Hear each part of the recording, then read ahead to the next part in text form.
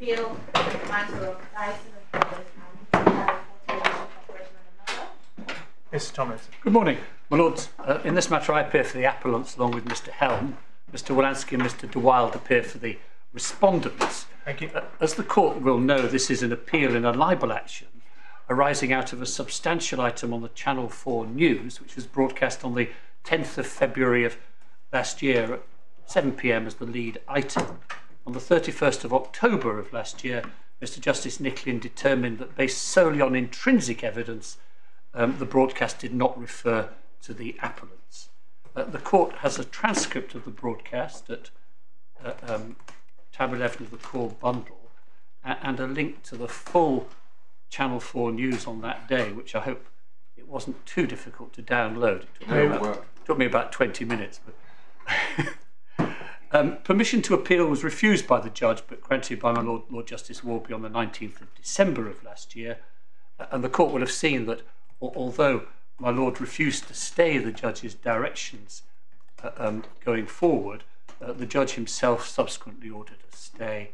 Uh, that's a supplemental bundle tab 8. So the future progress of the action awaits the decision of this court on the appeal. My Lords, this was a broadcast, a, a news, substantial news broadcast about Dyson, referred to as one of Britain's most iconic companies, facing legal action over claims of abuse and exploitation in its former uh, supplier's Malaysian factory. Uh, um, I'm sorry to say that the as, as I'm sure very often happens, members of the court, the appeal bundle of authorities is very full. 34 cases, eh, including three decisions of the House of Lords, one from the High Court of Australia and one from the Supreme Court of Canada. But in reality, we say that the question to be asked is simple and appears now to be uncontroversial, which is does the broadcast reasonably lead people persons acquainted with the appellants to believe that they are the Dyson companies referred to.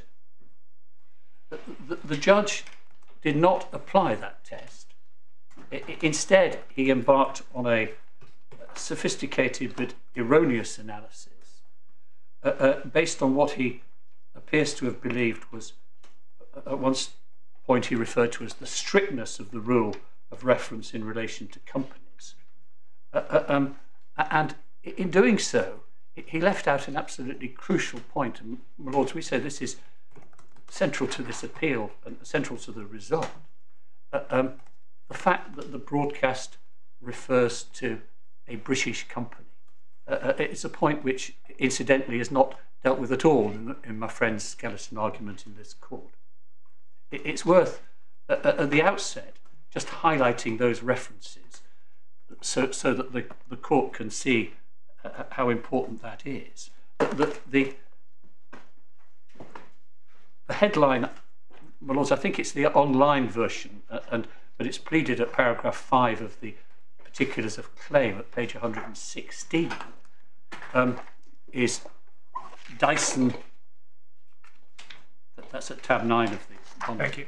Uh, uh, um, Dyson one of Britain's best known firms faces claims of abuse and exploitation its former suppliers M Malaysia's factory.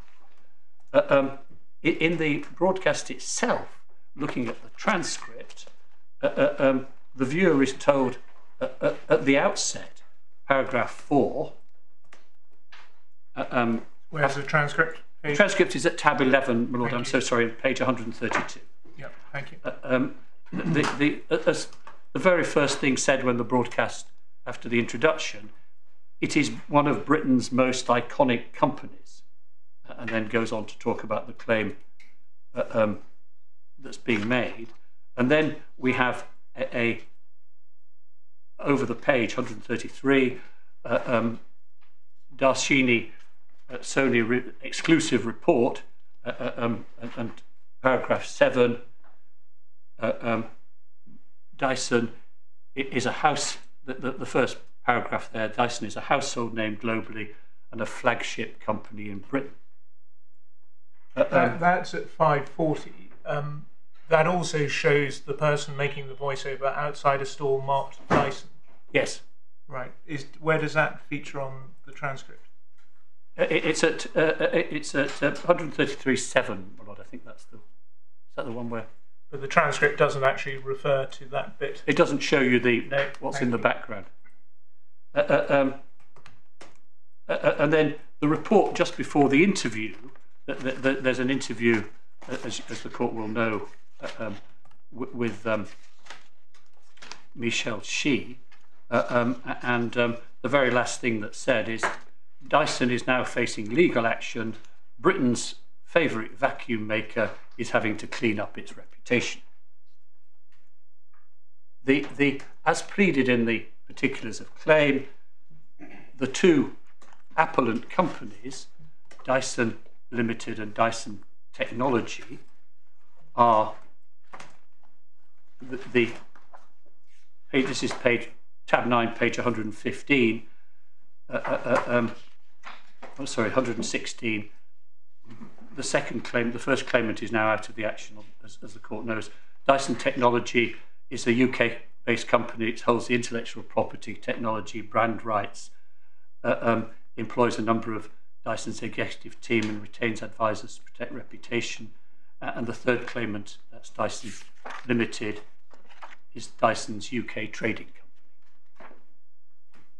Uh, uh, we say that uh, uh, the, an ordinary reasonable viewer acquainted with one or other of these companies would reasonably believe that it is the British company being referred to, and indeed would believe correctly, as it turned out, that it was the British company about to be sued.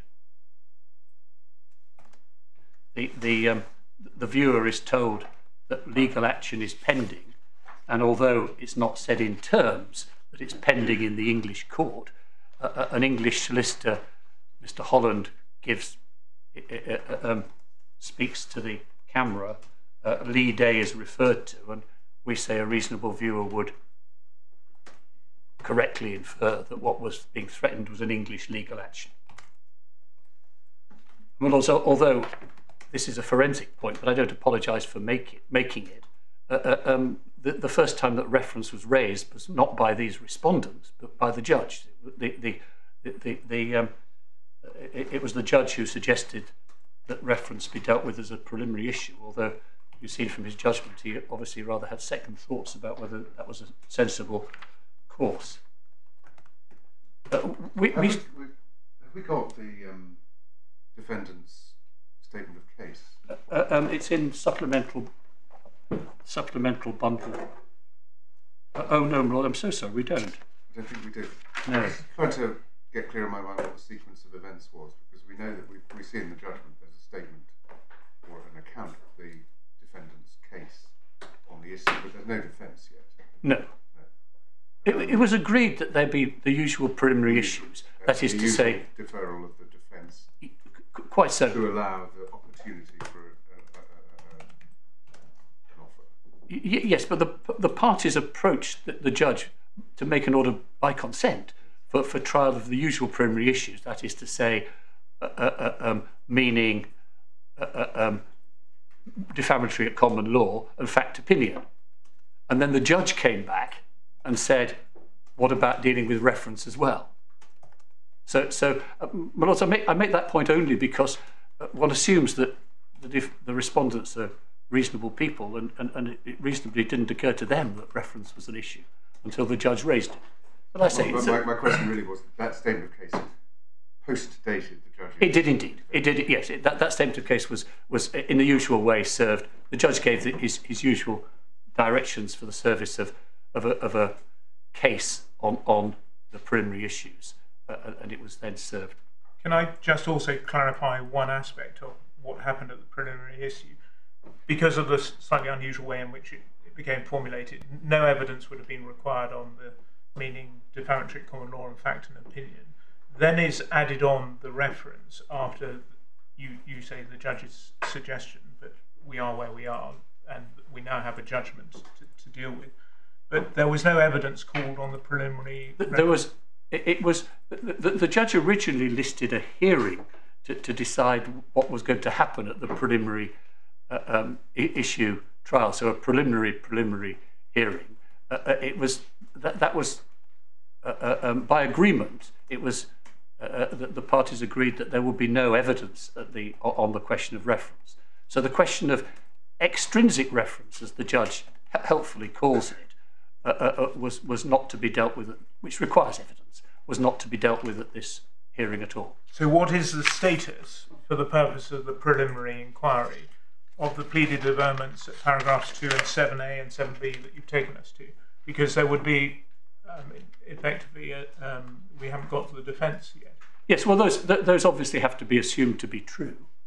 Uh, um, uh, seven A and seven B are, are, are not strictly speaking relevant because they they were part of the extrinsic reference Yeah. case, which which we, we added in prior to the preliminary issue hearing uh, uh, as, as a fallback position.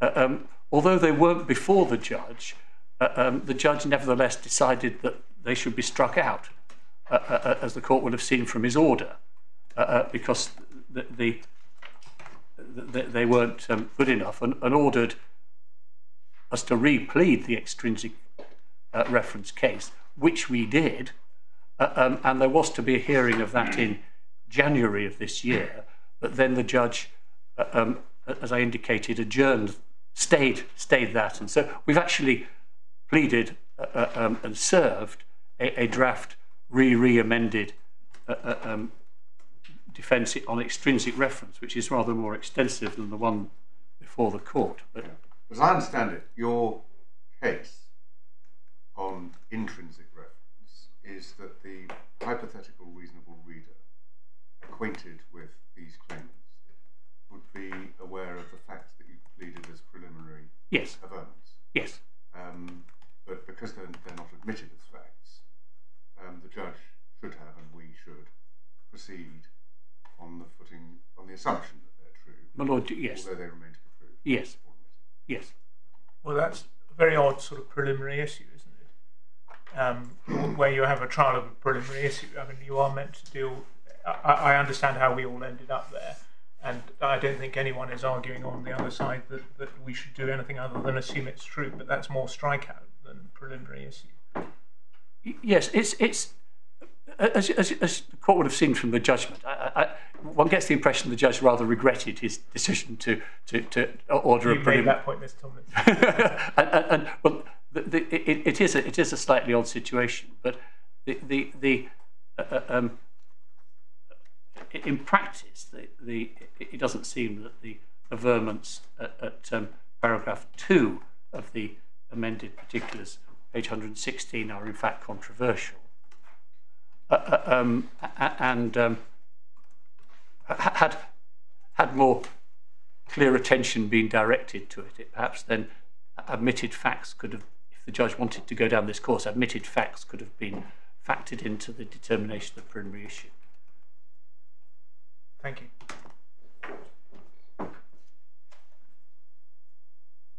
My lord, the judge, the judge, it's obvious from his judgment, the judge uh, uh, uh, had some concern that we hadn't pleaded details about the corporate structure of Dyson, and he didn't know how many companies there were, and which was the uh, uh, uh, um, the parent company, and so on. Uh, uh, um, my lord, our, my lords, our answer to that is reasonable viewers don't worry about that kind of thing. People don't watch the Channel 4 news thinking, gosh, I wonder what the corporate structure is. Uh, um, they see the broadcast once, they're not over analytical, they don't sub- submit it to piecemeal analysis. They, they form a, an impression. A- And we, we say that impression, the impression they form if they're acquainted with these claimants is that they're the subject of the broadcast. My lords, I, I want to begin by saying something relatively briefly about the law. I, I say relatively briefly because although it was hotly contested before the judge, uh, um, most of it now seems to be common ground. Uh, uh, um, the the um, the judge says at paragraph uh, 17 of his judgment. Is it convenient for me just to give the paragraph references to the judgment, or would you, the court prefer the bundle Well, we, references we, as well? we, we, we, we have read, read it carefully, but uh, it's very helpful for you to say whatever you want about it. Well, no, I was. What I was just wondering was whether your lordship would like the bundle reference as well as the judgment paragraph. Paragraph reference. fine. But paragraph 17, uh, uh, um, he says that the, that the principles are the subject of broad agreement. Uh, um, well, the, the, the basic point that uh, um, some, something is only a, a defamatory publication uh, uh, um, must be referred to uh, the claimant is obviously um, matter of complete agreement. What wasn't agreed was the crucial point about that the ordinary reasonable viewer is a person acquainted with the claimant. This was a point taken by us before the judge, not addressed by the respondents in their skeleton below at all, uh, and only mentioned by the judge in passing on one occasion, uh, and, and doesn't form part of his reasoning. The, we've summarised the general principles in our skeleton at paragraph 30, which is uh, at tab 2, pages 29 to 30.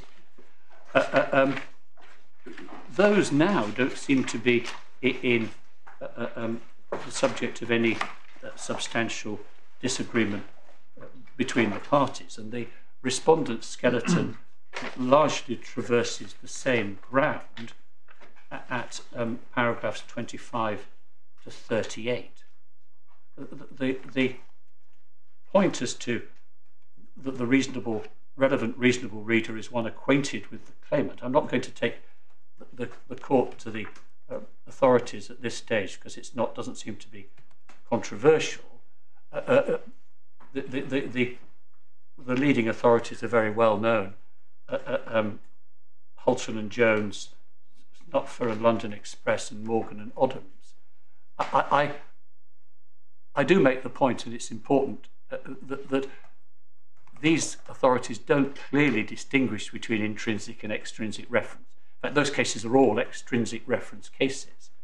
But the principle um, applies whether the test of a, uh, as to a, someone reasonably acquainted, reasonable person acquainted with the claimants applies whether it's one, whether it's an intrinsic or extrinsic reference case. And uh, um, the, the point is clearly stated by my Lord uh, Lord Justice Warby in Economou and De Freitas at paragraphs 9 to 10.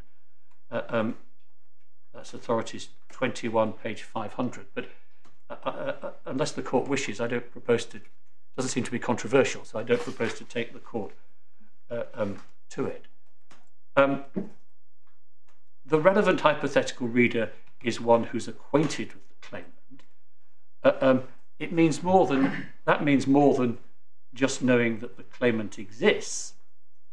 They know something about the claimant, but what they know uh, uh, uh, um, depends on all the circumstances, and they aren't taken to know everything about the claimant. It, it, it's, uh, the, the, it's famously said in the cases about, your, your lordships may remember the curious case of Mr. Artemus Jones and Hulton and Jones uh, uh, uh um, in, in Dieppe with a woman that wasn't his wife, uh, uh, um, referred to as a church warden from Peckham. He wasn't from Peckham and he wasn't a church warden, but nevertheless, it was sufficient that the, the, the, the, um, persons acquainted with him would take him to be the person referred to although it's not controversial, perhaps I just mentioned this point that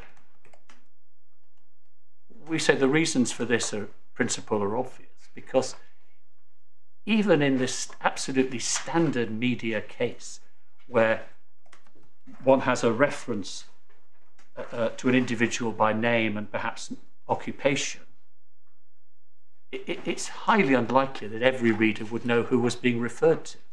It, even if you took a, a, a, person known to substantial proportion of the population, uh, um, Prime Minister or David Beckham, there are, are, going to be people who don't know who they are. And, and, and my eye was caught by a case which I, my Lord Lord Justice Warby was, was in in 2011, the, the, case of Mr. when Mr. Dominic Raab MP brought a claim against the Mail on Sunday uh, he was a newly elected MP, and it seems highly unlikely that most or, or all of Mail on Sunday readers would at that stage have known who he was. But there was no question of it being a, an extrinsic reference case. He was named, he was an MP, and some people would have known.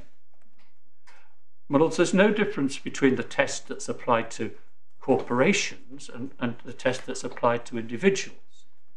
Um, we say that perhaps there's some confusion in the judgment about it. Can I just draw attention to again? Again, this these points are maybe well known to the court. It's perhaps just important to emphasise them. There are some points of distinction in relation to a corporation. The first point made by the judge at paragraph 29 um, is the fact that a company suffers damage is not of itself a ground for it bringing a libel claim. Uh, he refers to an Australian case called Sungravure, uh, uh, uh which mentions a report about a particular model of car, which obviously would injure the dealers, but is not defamatory of them. Uh, uh, um, th this doesn't apply in the present case. This is about Dyson. secondly, uh, um, sometimes there are cases where the company doesn't trade, so it's got no reputation to damage. Uh, there's, I'll come on to that in a, in a moment in relation to a case relied on by the judge. Uh, uh, um, thirdly, there's a, there's a long line of concern where people are bringing bring cases in the name of corporations when really they should be in the name of individuals. Really, the individuals are being defamed. Um, the, the, case of elite models in the which is in the bundle of authorities is one of those such cases. Uh, th this is not such a case here.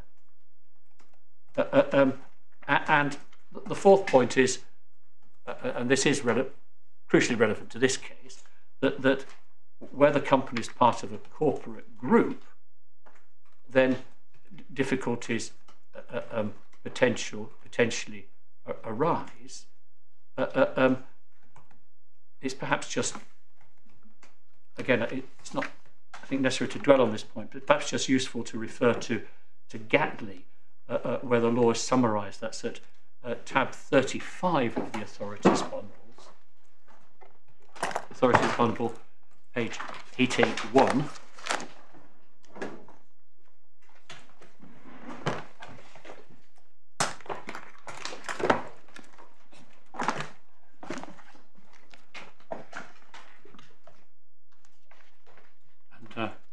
Happy to say that the passage is actually sidelined by both parties. Uh, uh, um, shows it works sometimes. Uh, however, uh, um, where the words complained of do not specifically identify the, uh, the claimant company, and that company is one of several in a larger group with similar names, the claim may fail unless a reasonable person could think that the claimant company was sufficiently referred to, the words sufficiently identified all or some of the companies in the group.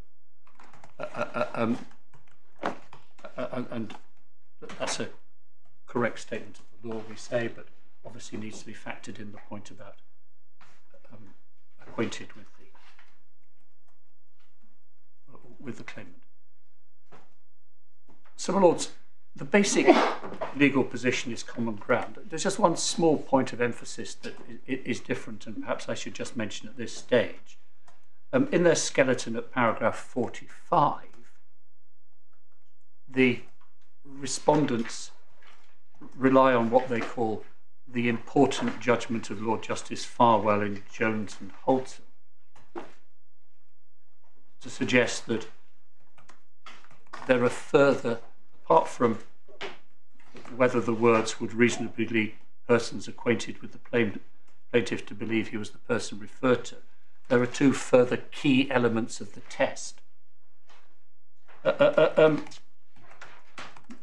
Lords, I, I, I, don't want to waste time on, on analysing Lord Justice Farwell's judgment. The, the court may know it's actually quite a controversial judgment, and in the subsequent case of Newstead and London Express newspapers, the Master of the Rolls, Sir Wilfrid Greene, uh, uh, uh um, basically said that it was inconsistent with the ratio of the case and that Lord Justice Farwell had been led into error.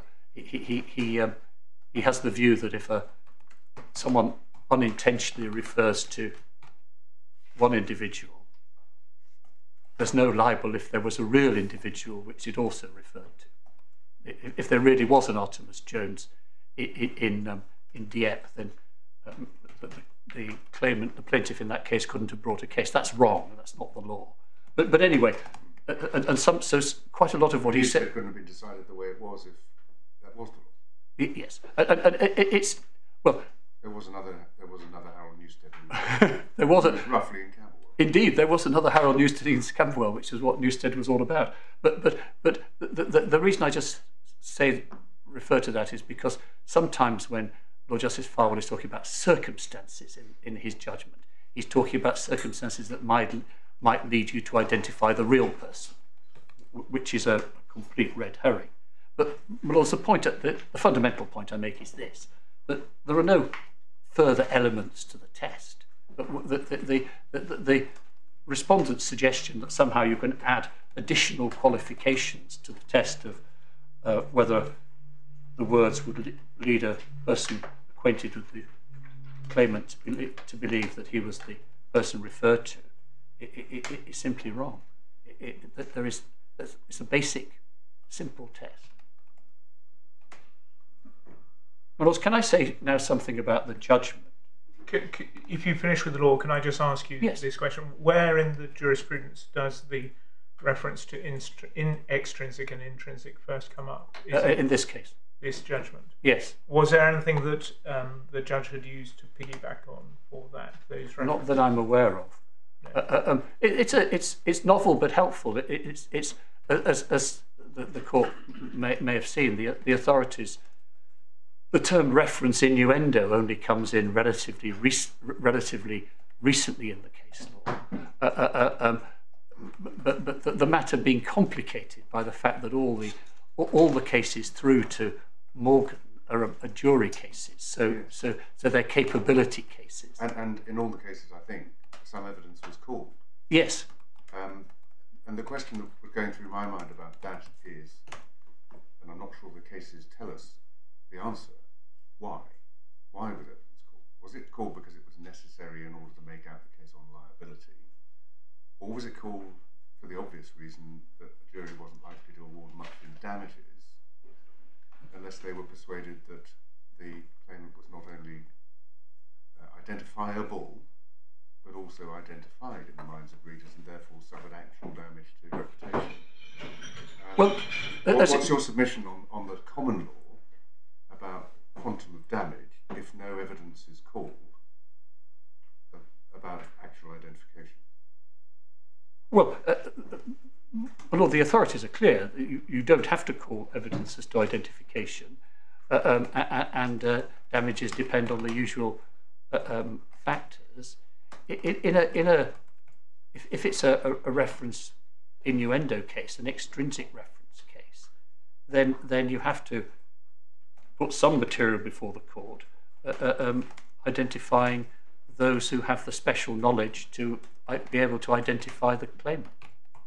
Uh, uh, um, but but but as, as your lordship will know, there's there's some ongoing and unresolved debate as to whether actually how, how that helps because the test is reasonableness and the fact that, that the, the fact that some individual thinks that, that, that the claimant is the person referred to that, that may be an unreasonable individual. And well, it's a bit anomalous, isn't it? It, it is. Given, given the rule in relation to meaning. Yes, and and and, although and, the rule in relation to meaning is somewhat debated.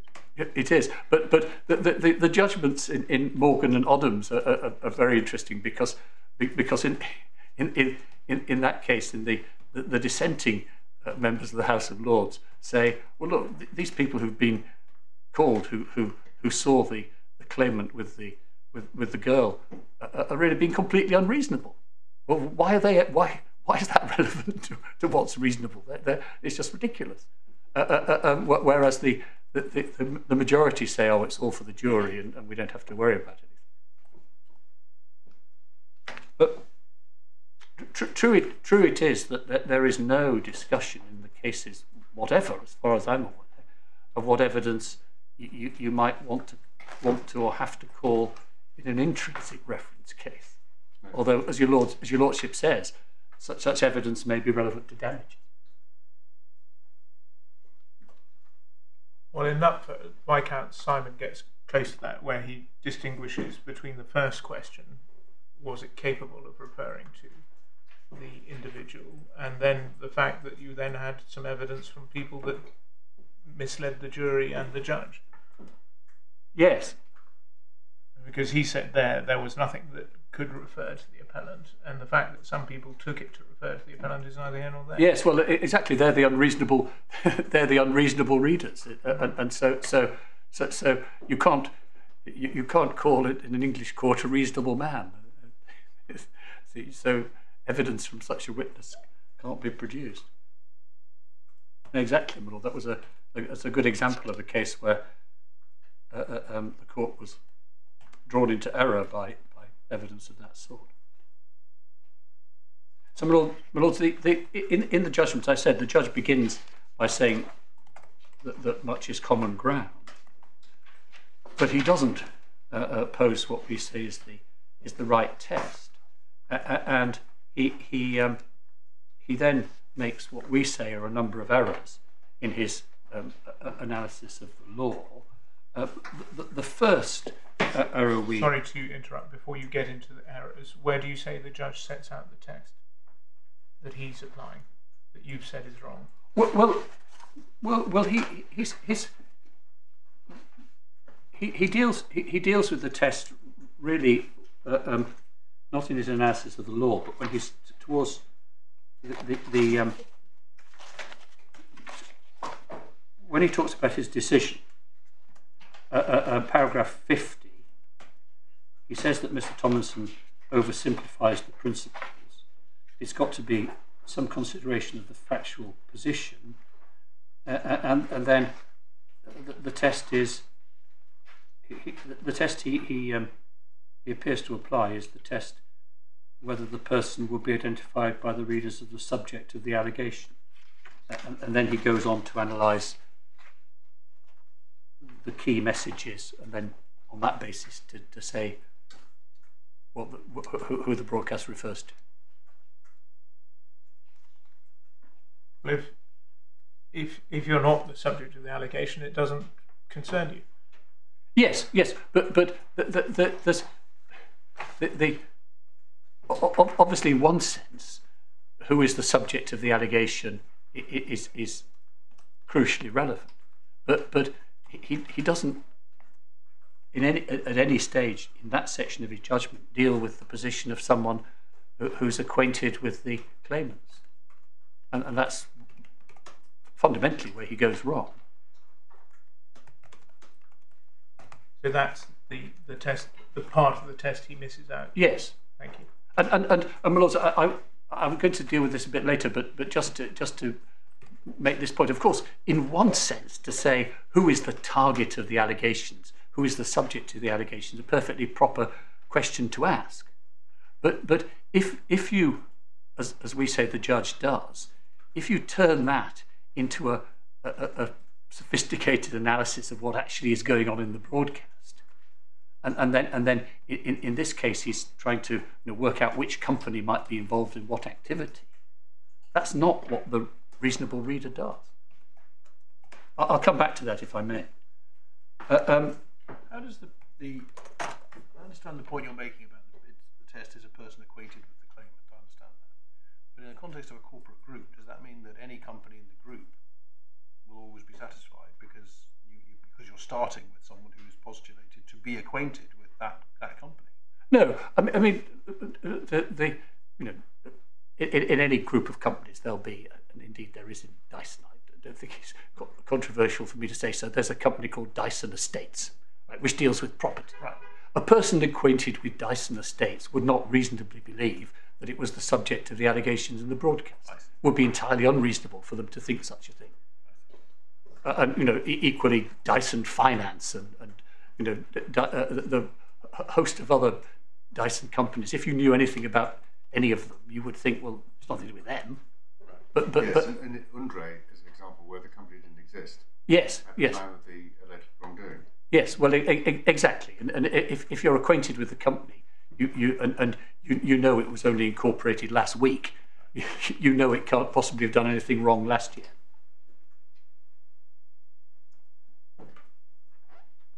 uh, um, well, th- th- this is perhaps a, perhaps a small point in the in the context because it doesn't seem to do much work. But the the, the judge uh, identifies at paragraphs 23, 24 of his judgment what he calls an intermediate category between intrinsic and extrinsic reference. I say it doesn't seem to do much work. He doesn't really rely on it as part of his analysis, but it, it, it shows his. There's really a question of whether he's really thinking along the right lines if he, uh, when he identifies such a category, because there's no support for the existence of such a category in the authorities. I'll come back, if I may, to his reliance on the Australian case because that's more important. It- paragraphs 27 to 28, um, again, he appears to cast doubt on the appropriateness of the of the test, uh, uh, um, but reasonably lead persons acquainted with the claimant who's the person referred to. Uh, uh, uh, paragraphs uh, uh, 27 and 28. I, I accept, um, my friend makes this point in his skeleton, I accept he doesn't say so in terms, but he, he, he, says it's important that Knupffer was an, an extrinsic, um, extrinsic evidence, ex, reference innuendo case. Um, but he then goes on to say where the publication complained of clearly identifies but does not name the target of, the defamatory allegations. It's an intrinsic uh, uh, um, intrinsic reference case. Uh, uh, uh, and then he goes on to talk about David Jones. Uh, um, sorry, he, he, he then the, we say the discussion that follows shows that the he's really operating on the wrong lines. In, in paragraph 28, he, he talks about, he, he quotes the, the example given by Paris, the, the Australian example of a, it's the middle of paragraph 28. If using the example from Paris, they happen to be 100 companies in the David Jones corporate structure, only the company that actually operated a department store could bring a defamation claim. That's not right. Because, because the question is not what actually happened, the question is what reasonable readers believed happened.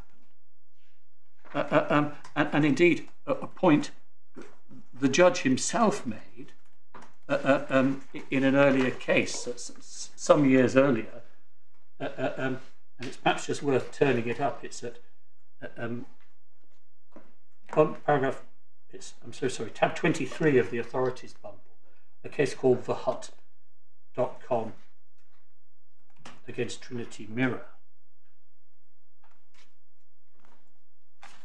And at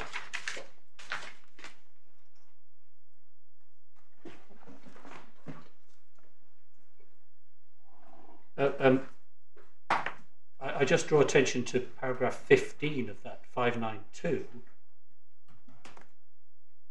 where, where he says that purpose of that is to make clear that in defamation the question is whether or not the ordinary reasonable reader would understand the words to be referring to the particular company. Perfectly possible, depending on the facts. They end up referring to more than one company. In fact, we say that's what happened Sorry, which paragraph is that? 15 at paragraph 592. But, but what I wanted to mention in this context was uh, um, paragraph 29 at 594, where he makes the point, we say correct. It is not relevant legally who turns out to be in the position, position in terms of who manufactures the product, because it is what the, reasonable, the reader understands the position to be. Taking the John Lewis example, if the reader mistakes the relevant claimant to be company A when it's company B, in fact the relevant party, it does not matter. what matters is who the reader thinks is being referred to by the words complained of. That's right. Uh, uh, um, now, now, Well, in, in the Paris case, it would be the company or companies responsible for operating the store where the cockroaches were to be found.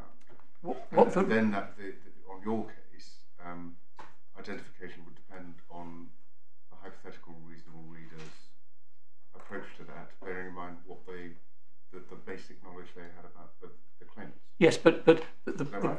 yes, the point I'm making here is that in, in the Paris case, it's perfectly possible that the hypothetical reasonable reader could different readers could identify different companies. That, that, that you don't. The, the judge says uh, uh, only the company that actually operates the department store could bring a defamation claim. That's not right. Is the actually Yeah. you're focusing on? Yes, yes, because because if everybody if if if emblazoned outside the store it says David Jones, David Jones PLC or whatever the right name is in Australian company law, uh, uh, uh, reasonable readers may believe they operate the store when in fact it turns out to be some shell company that's or some other company that's does something completely different as well. Well, the, the point I'm making is you see there that the judge is is is um, is falling into into error already, uh, uh, and then Is, is, is, is it, would it be right to say that only the company that actually operates the department store is likely to be able to win a defamation claim worth bringing? well, but, but Which is, I know is not what the judge. My lord, no, because because if if the if the position is that that that and the court accepts that the reading public reasonably believe that uh, there is a company called David Jones Store Operations that's operating the store. The fact that it doesn't, and, and it may be cause very substantial damage. It, the fact it doesn't, it doesn't matter. Um, he, he then, at paragraph 31, and this is, uh, uh, uh, my Lord, uh, uh, Lord Justice Dingemans has already, in substance, come to this point that when I, when the judge applies the test at paragraph 50, he's really deriving it from Euromoney, paragraph 31. And, and he underlines the words, the subject of the allegations. I, as I say, I'll say more about that in a moment, but, but the, the test is what does the reason, your, your lordships know what I say the test is, and that's not quite the right way of putting it. Uh, uh, he, he then he then goes on at paragraph, uh, uh, uh, um, and, and he was this case was cited by Mr. Wolanski as he says paragraph thirty-two, to refer to Palace Films, uh, um, decision of um, Justice McCallum, who I see is potential candidate for the Chief Justice of Australia uh, um, in the near future, uh, uh, who was then the judge in charge of the defamation list in New South Wales, and a, case which the, the judge was obviously obviously thought was particularly important. Uh, um, he, he, he says he, he, he, says in, in the, the first two lines of that paragraph, a further Australian case that demonstrates the strictness of the rule uh, um, so far as it applies to companies. Well, again, th- that's a misdirection. There is no strictness of the rule. It's the same rule whether it's a company or an individual. Uh, um, and he, he, he regards this as, as you can see later in the judgment as a case as a case which is uh, uh, um, very close to the present one and, and very persuasive. And we say he's clearly wrong about that. And it's perhaps um, just worth spending a moment on seeing why that's wrong. The, the, the, the case is at tab 33 of the authorities. If I could summarise it in this way, um, it was a case um, arising out of, of articles in a- journal called the Australian Financial Review, which dealt with the film distribution industry in Australia and referred to a number of film distributors, including Palace Films. Just, just those words, nothing else. It, it, it, uh, and it was clear that all three, artic- all three articles that, that Palace Films was an entity which carried on the business of film distribution. Uh, uh, um, uh, uh, and there was a extensive dis- discussion of the conduct of that business, which said to be defamatory. It ultimately ended up, I think, in more than half a dozen decisions of the of the um, Australian courts arising out of those articles. But uh, um, the, company that carried on that business, that is to say, film distribution, as the judge explains at paragraph 5 of the judgment, which is on 839, is not Palace, it's not the claimant Palace Films Pty Limited, but a different company, uh, uh, um, Palace Enterprises Pty Limited. Uh, uh, um, and that company, because of the Australian rule against defamation claims being brought by trading corporations, that company couldn't bring a beyond a certain size. That company couldn't uh, uh, bring a claim. That's Section 9 of the Defamation Act. I'm not sure whether it's a, I think it's an act applying only to New South Wales, but anyway, uh, at that stage, or perhaps it's a piece of Commonwealth legislation. Anyway, the, the, the, the um, that company couldn't have brought a claim. So the question was whether the reference to Palace Films adequately named the, plaintiff company without resort to particulars of identification. In other words, whether it was an intrinsic reference case. The, the judge held that it was not, uh, uh, and that's at paragraph 20. Uh, uh, um, uh, and that's the passage that's cited by the judge in his judgment. Uh, um, the, the, judge appears to have been proceeding, see paragraph 10, on the incorrect assumption that if the plaintiff is not named, the case is bound to be one of extrinsic reference, which of course isn't right.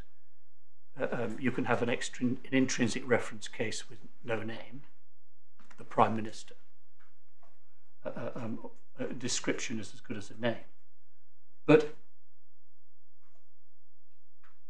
the judge appears to have accepted, one looks at paragraph 20,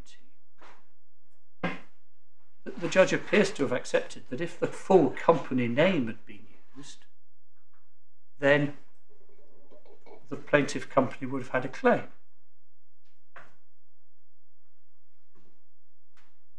Uh, uh and the problem was the omission of the full company name, so it wasn't clear whether it was a company or not.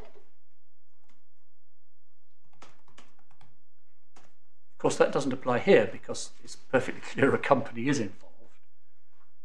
But what the, what the judge didn't do was to consider the position of the reasonable reader acquainted with the plaintiff. Uh, um, Sorry, she, which judge? Mr. Uh, Justice Nick? No, no, I'm, what, I'm so sorry, I'm McCallum. I'm, I'm talking about the Australian case still. Yes, Apologies. Yeah.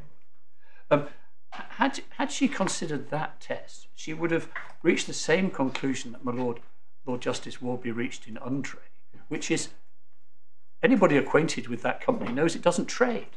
So it couldn't possibly be the, be the person, be the company referred to in the article. Well, more specifically, it's not, it's not the operator of the business. Well, well, even, but even if you didn't know, even if you didn't know that, if you knew it was a non-trading company, uh, you, you, you, you would know. So, so, so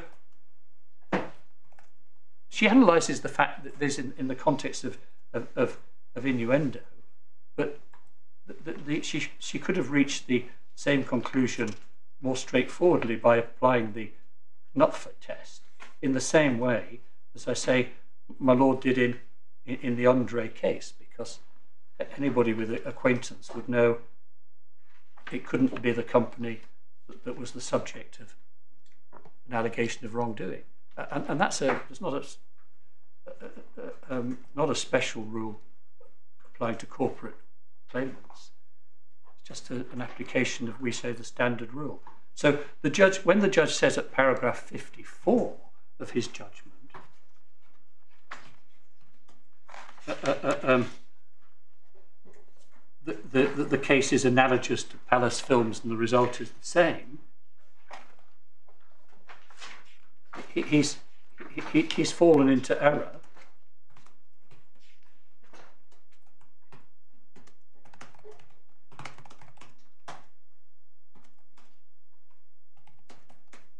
And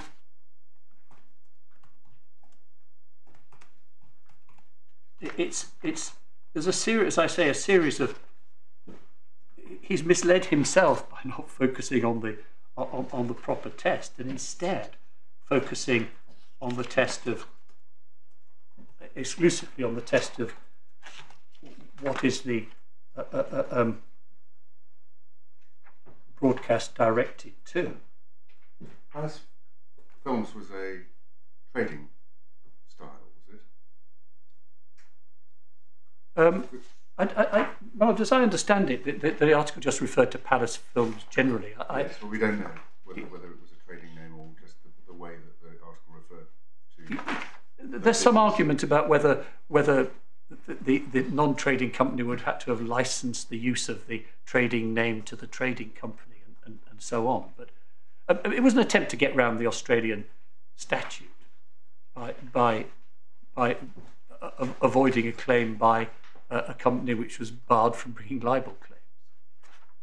But but but the judges, the, the, the, as it were, the ratio of this part of the decision is is that it wasn't being referred to because its full corporate name wasn't used, which is is is is not the we say not the right analysis at all, but the, the right analysis is what someone reasonably acquainted. And Lord, I'm repeating myself. Uh, um, so it came to the right result for the wrong reason. Yes, yes. Oh, uh, uh, um, sub subsequently, uh, uh, um, Mr. Zeccola, uh, um, I think they're brothers, the Zeccolas carried on the action and, and, and there were then endless disputes about what the words meant and uh, and so on. But the, the, the, the, two directors. Yes. Yeah. Well, we can see that at the end. Yes. Uh, um, the the the, um, the respondents seek to defend the judge's approach. This is at paragraph fifty-seven of their skeleton. Uh, uh um,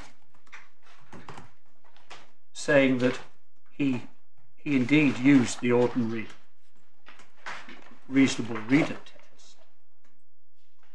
Uh, um, he certainly refers to uh, paragraph 20 of his judgment to Morgan, which is, and, and, of course that's the where, where, the House of Lords make it clear that that the same test applies in relation to references to meaning. But what, what, what is the top of page page 86 of the core bundle.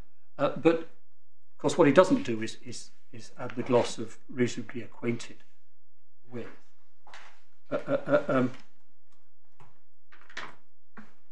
he, he, doesn't, he doesn't apply that, and the, the, the respondents don't challenge that. They, they don't challenge the fact that the judge missed out a crucial part of the relevant test, and we say that therefore it's, it's plain that the judge applied the wrong test and that this court could reach its own view.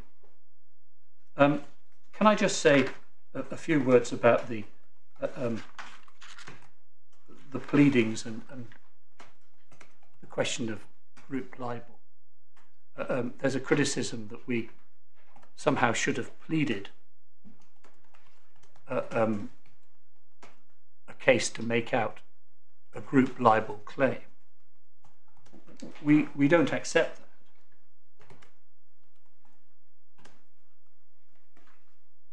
The, the, the, the judge also apparently criticises our pleading, which we, we don't really understand because so far as I'm aware, and certainly I've not found anything in the case law suggests anything to the contrary, the only thing you need to plead in an intrinsic reference case is that the words were published of and concerning plaintiff, the claimant, which is what we pleaded. Uh, you, you, don't, you don't have to uh, go into some explication of why that's the case. Of course, if the point is taken, th th there's nothing to, to stop the defendants taking the point in their defence. And if they take the point, then obviously relevant facts can be pleaded in reply. Uh, and, and that would, we say, be the, the, the, the, um, the proper way to do it. If, if there's an issue about, no, this isn't a proper in, intrinsic reference case, case, then that says that in defence, and then we uh, uh, we deal with it. Uh, uh, um, but both the judge and the respondent seem to think that we're under some kind of duty to provide a, as the judge says, paragraph 13 of his judgment, a, a, an explanation of the other companies in, in the Dyson group. We, we simply don't understand that. It's, it's, we're not bringing a claim on behalf of all the companies in the Dyson group. We're not explaining how that group operates. We're approaching this from the perspective of the ordinary reasonable reader. And one thing you can be certain of, beyond any sensible doubt, is that the ordinary reasonable reader have no idea as the structure of the Dyson group. When they watch this Channel 4, they're not you know, flicking through the internet looking to work out which companies are, are parents and which are subsidiaries and which trade where and how the whole group operates. They're just thinking, Dyson, this is appalling. Look at what they're doing. Well, they're told, aren't they, in the broadcast that the company has, uh, to put it broad, uh, bluntly, offshored uh, uh, uh, uh its operations to Singapore sometime before. Yes. Um, and ordinary people know why that sort of thing is done and um, might suppose that it would involve the setting up of other corporate vehicles. Yes. And, and, but, but, but on the other hand, they're also told it's a British company, which of course it is, and, and, and, and it's you know, known as, a, as, as an iconic British firm, company, whatever you put it. Uh, uh, um, so, so we don't accept that we should have uh, uh, uh um, pleaded um, some details as to as to what the um, the structure of the um, of the company was. And we don't accept that we should somehow plead a group libel case.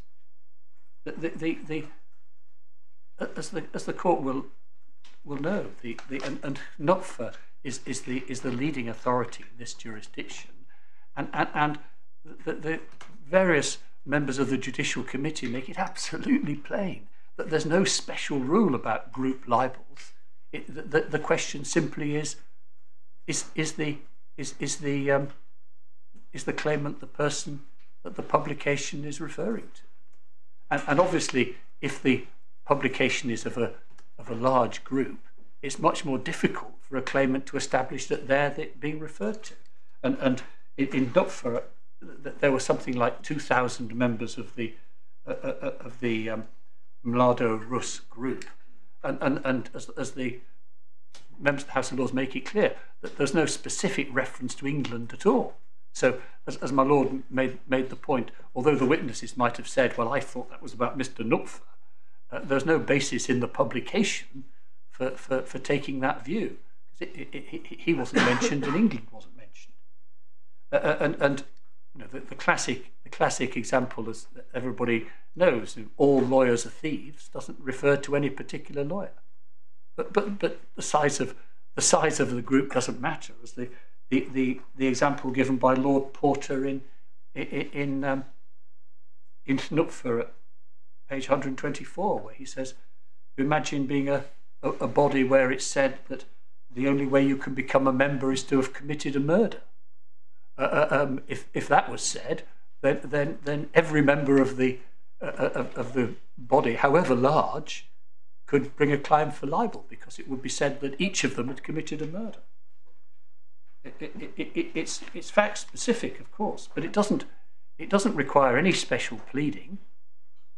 Um, and and and we we um, we say that our case is is is correctly and properly pleaded, and, and, and if there's any, as I say, any issue, it should be taken up on the pleadings in the usual way. Can I just ask you about that point? Because we know that in this sort of slightly unusual procedure that was adopted, the defendants then did plead um, in paragraph 14 of the judgment um, what they say. They deny that it referred to the second and third claimants. Yes, well, it's not a, as, as you as you lordship knows, it's not it's not a pleading. It's no. it's, it's, a it's a it's a strange, it, it, uh, um, very useful but sort of intermediate document that's being that the practice. Probably my lord was responsible for starting it, but uh, practice of ordering ordering a, a, a, an advanced statement of a case so that people knew what was going on at the at, at, at, at the hearing of the preliminary issue trial. But Yeah, yes, and just to remove any, any obscurity about this, the point is that once you put in a defence, the statutory offer of amends is not available to you, and so this is a manoeuvre to let people get issues resolved before the defence goes in and that opportunity is lost. Y- yes, yes. I, I, I, I think everybody understands that, that that's what it's about. That, and, and, and for years, as the court will know, in the, in the old days, when, when uh, uh, um, in general um, you couldn't have issues of meaning tried by judges, uh, uh, uh, um, uh, meaning was, was hotly contested. You, there was there was a great block to uh, uh, early resolution of libel cases, and post the Defamation Act 2013, when juries became vanishingly rare, or perhaps they've just vanished, um, that the position was that you could have preliminary issue trials on meaning, and as my lord says, that that that uh, um, that, would then give the defendant the opportunity of relying on the offer of amends procedure. But I'm so sorry. The the the, the um, your lordship is right that at paragraph 14 it sets out what the what the um, uh, uh, um, defendants say, uh, um, and, and as I say, had they pleaded that on, on reference, we would have responded. Uh, uh, and indeed, uh, um, we, we responded in, in, in argument, but obviously we didn't respond as a matter of fact because the question hasn't arisen yet. So your paragraphs 7a and 7b post-dated that informal um, document. No, no, they predated it. But, Right. but they, they what, what, what, as I say, the, the sequence of events is parties agree standard preliminary issues, judge raises reference, the, the, the, the defendants then also take, take up the baton, as it were. We then plead extrinsic reference as an alternative case, then this document on, on, on um, uh, statement of case on preliminary issues is served. Thank you.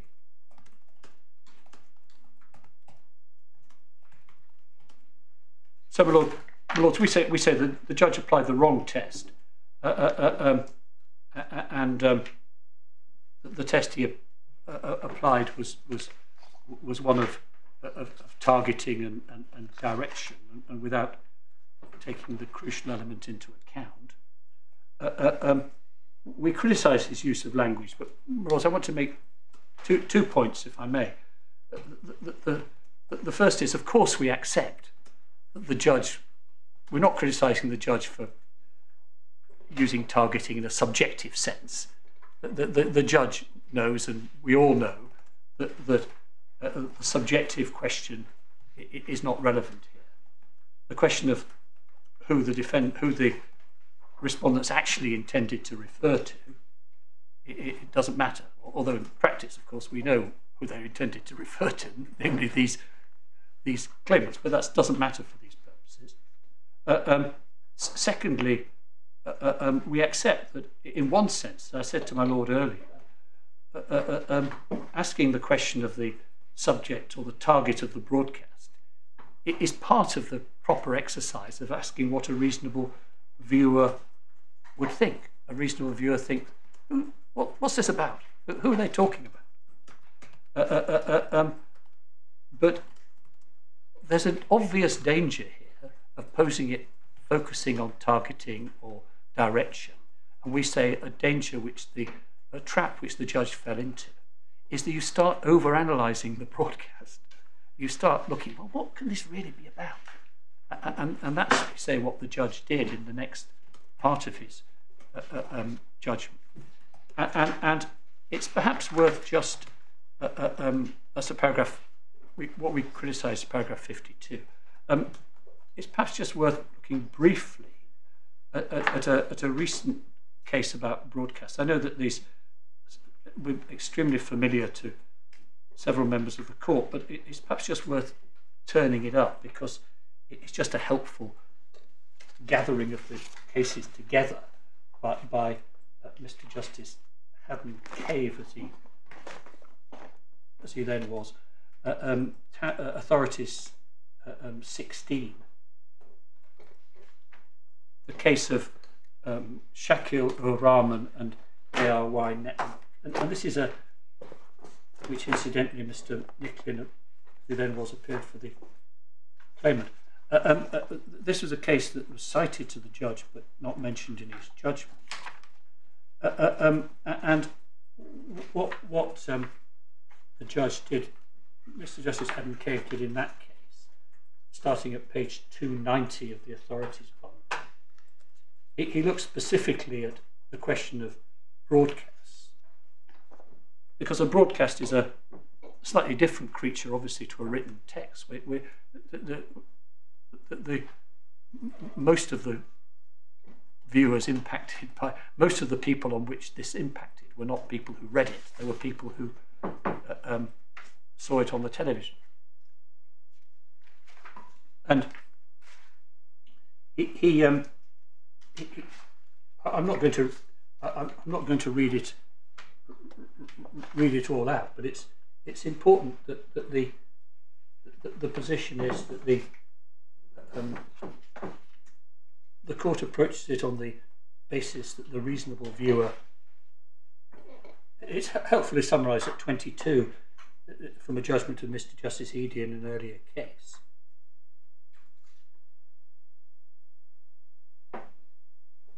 That, that, it's a matter of impression, very well known principle, must not be over analytical, subjecting to leisure or le- leisurely or legalistic breakdown, overall flavour, contribute to interpretation, not necessarily be found when subjecting the text to piecemeal analysis. Um, risk that such an exercise will focus on the trees and miss the wood. Uh, uh, uh, uh, and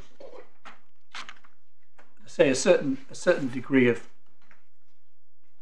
loose thinking, as it's sometimes called, is, is attributed to a viewer in in those um, circumstances.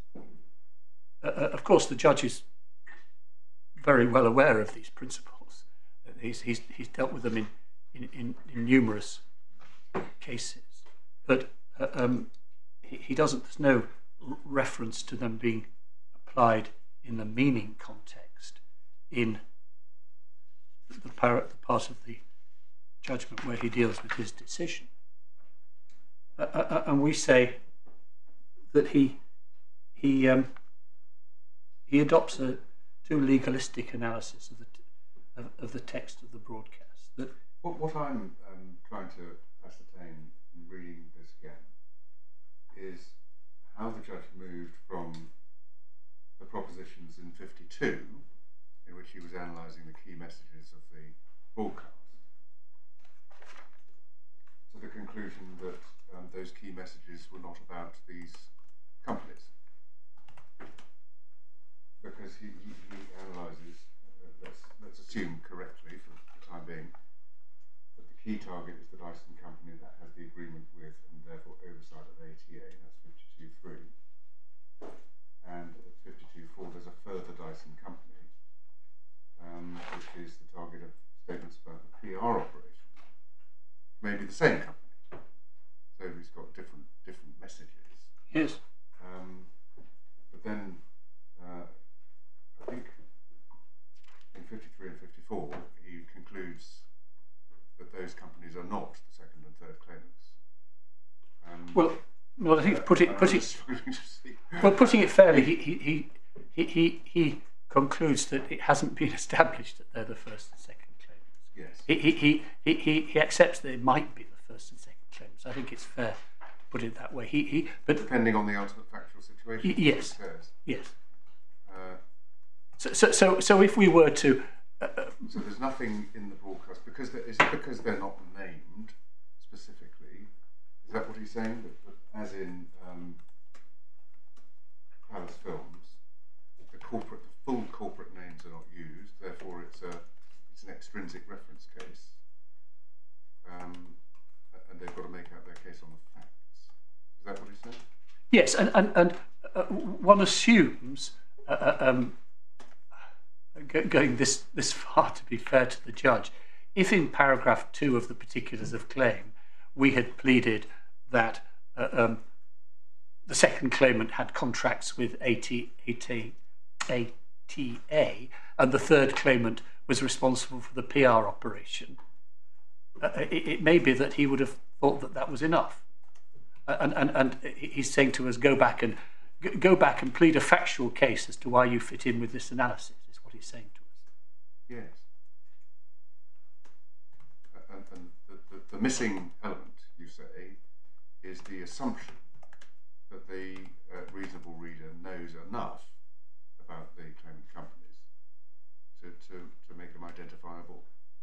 Yes, the missing. Well, the missing. He doesn't ask That's, the, himself that the question. ingredient that he misses out. He doesn't ask himself that question at all. But had he, and, and, and, and uh, Lord, I, I I made this point at the outset, I make it again now without apology. Had, had, he, had he said, there's repeated reference in the broadcast to British companies. So, so I, can, I can take it that British companies are being uh, uh, uh, um, criticised in the, in the broadcast. These are British companies then would a reasonable reader acquainted with them think that they were the subject target of the broadcast? He doesn't ask any of that. So he, he, he sits back, he analyses, he, he analyses the broadcast, and, and, and, and, and I, I'm, not, I, I'm not engaging with the fine detail of that, that, that analysis. It's a, it's a, it's a perfectly, as, as one might expect, a perfectly sensible and credible analysis. But we say it's just not what the reasonable viewer would do. The reasonable viewer is watching this program, and I, I know your lordships have seen it. You, you, th- th- there's sort of horrible scenes of people describing how they've been tortured, and then there's there's there's lawyers saying how appalling this is, and uh, uh, uh, and, and you know, there's Sir James Dyson at the head of the program testing out a vacuum cleaner in a store, and, and, and the reader is is thinking increasingly, what a dreadful lot they are. What are these Dyson what are these Dyson companies up to? How appalling! And and and, and British Dyson companies. Some lords, I, I say that had he had he taken that approach, uh, uh, um, it, it- would have uh, um, led him to the conclusion we say he should have reached. And, and, and it's interesting in, in, in, in paragraph 53, he says, uh, uh, uh, uh, um, depending on the ultimate factual situation, one Dyson company uh, could have a claim based on some form of the claimant's first two meanings and the further company based on, uh, further on the third. So he's, he's basically saying it all depends on the ultimate factual situation.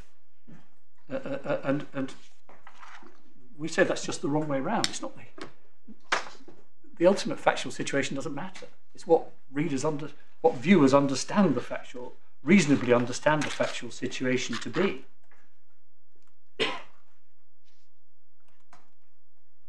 Uh, um, the the the respondents say, "Oh well, this is all just a finding of fact, and so the court shouldn't lightly interfere." Well, my lords, I, I don't think I need to spend too much time on this. the, we, we say, of course, that doesn't apply if there's an error of law. We say there is an error of law, so this court can interfere.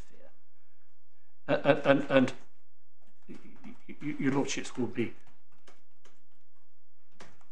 familiar with what, what um, Lord Kerr says in Stocker, which is referred to by my friends, where in, in Stocker was a case where the judge had made an erroneous decision on meaning. He'd applied the wrong test. Uh, uh, um, so the, the Supreme Court were entitled to interfere with it. But in any event, uh, uh, um, Lord, Lord Kerr said it, it was a situation which called for disciplined restraint. Uh, um, and, and that epithets such as plainly or quite satisfied it was wrong were not appropriate. That's paragraph 59. So, so my lords, as, as the court knows, uh, you don't need me to say this. If, if an error of law is identified, as I hope I have done, then uh, um, the court can interfere with those findings made by the judge. Uh, um, so, my lords, we, we say that, that really this is a, a straightforward matter. That the, that, the in analysing this question of reference, the judge was wrongly focusing on, on wrongly concerning himself with the corporate structure, with what the companies were actually doing, rather than the impression that would have been made by on reasonable viewers uh, by the program. Those viewers would have understood the criticism being about British companies and their failures to properly protect the Malaysian workers. Uh, the the um, a reasonable viewer wouldn't be concerned about exactly how the structure worked or, or who had entered into contracts with who, but, but really that here was a British company that held itself out as a model uh, uh, and was actually complicit in the mistreatment of workers.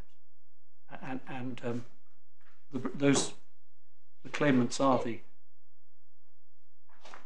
Well, meaning hasn't been established yet, and I know that's your pleaded meaning, but the defendants have different pleaded meanings. But- Better but- that we just stick with identification at the moment. But, but my, lord, my lord, of course, your your, your lordship's right, and the, the, the judge, the, the judge um, refused my uh, uh, suggestion that he should, in, in any event, determine meaning. Uh, uh, uh, um, so, so meaning has not yet been determined, and, and no, your lordship's completely right, and I, that's my case. Uh, uh, um, for, for, the moment, uh, uh, um, as, as your lordship says, we're dealing only with reference. Thank you. Uh, um, so, put shortly, my lords, your lordships will have seen the order we seek. The, the, the, the, the, in- our notice of appeal, that the uh, uh, um, that this court should uh, uh, um, find that the should order that the um, record the finding that based solely on intrinsic evidence, the broadcast refers to the uh, uh, the second and third claimants. And that would leave it open to the judge deciding meaning to find some but not all of the imputations or categories of imputation that are in dispute apply to one of the claimants and not the other. For example, Uh, um, I mean the PR imputation, if I can put it that, might apply to one of the claimants and not the other. Yes, yes. That's Uh, um, uh, everything is right outcome. I'm just saying that yes. Everything is we, left. we have to leave that Yes, open. everything is left open, and and and, and, and as I say, it, it, it also it, it, it also leaves open the the the uh, um, the defence can raise whatever issues the defence wishes to raise about reference. But but but the the, the if if the, the, the all the court can do at the moment is proceed on the basis of the uh, of the particulars of claim. Yes, so it's a preliminary to another possible preliminary. Well, uh, uh, um, we are where we are, Yeah. uh, and, and we, we, we, we but, but the, the, the your lordships will have seen that not only did the judge uh, say that there was this wasn't a, a, um, proper intrinsic reference case, he also said our struck out our extrinsic reference case for good measure, uh, um, uh, and, and uh, we say, we should be uh, the, the court should find the judge was wrong to do. that. So, paragraph two of his order on page 76, you, you ask us to revisit as well then. I'm so sorry.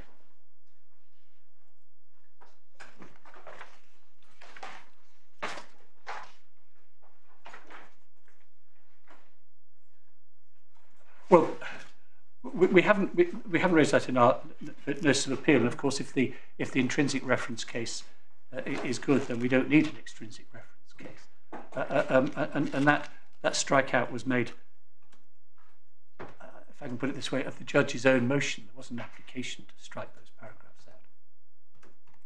No, you're, you're not appealing against that part of the order. No. It's a good, very good way of putting it. Make things more simple. Well, unless I can assist your lordships further. Thank you very much indeed. Mr. Wolanski. Um, I'm going to address uh, three different topics. First of all, uh, I'm say a little bit about the factual case advanced by the claimant on reference. Uh, secondly, some submissions on the applicable legal principles with a particular focus on what I think is probably a very narrow dispute because the legal principles are largely not an issue. Uh, and then finally, I'm going to say something about the grounds of appeal. Thank you. Um, can I start, please, with the particulars of claim, which are at tab 9 of the main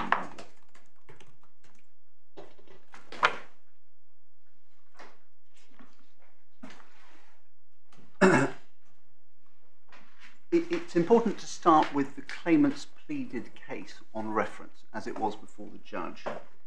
Um, paragraph 1 deals with the first claimant, but it says something about um, company Dyson, or rather the brand. First claimant is the founder and chairman of Dyson, the multinational technology enterprise established in 1991. His name is synonymous with the Dyson brand and group of companies. So we learn from that that uh, there is a brand and there is a group of companies.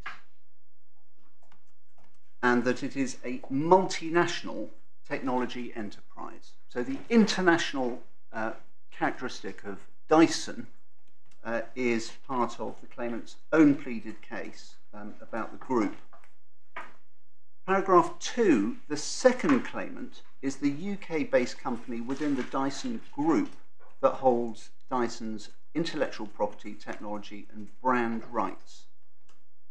The second claimant employs a number of Dyson's executive team and retains Dyson uh, advisors to protect the reputation of Dyson. So it's not saying it actually does the PR, it retains uh, advisors to protect the reputation of Dyson. And then all that's said about the third claimant is the third claimant is Dyson's UK trading company. Now that's it in terms of the pleaded case on intrinsic reference in the particulars of claim. Um, as you may have seen from the judgment, that prompted um, the defendant to uh, seek uh, Part 18 uh, further information about the case on reference. And the judge makes uh, reference to this in his judgment. Um, can I ask you please to turn to that?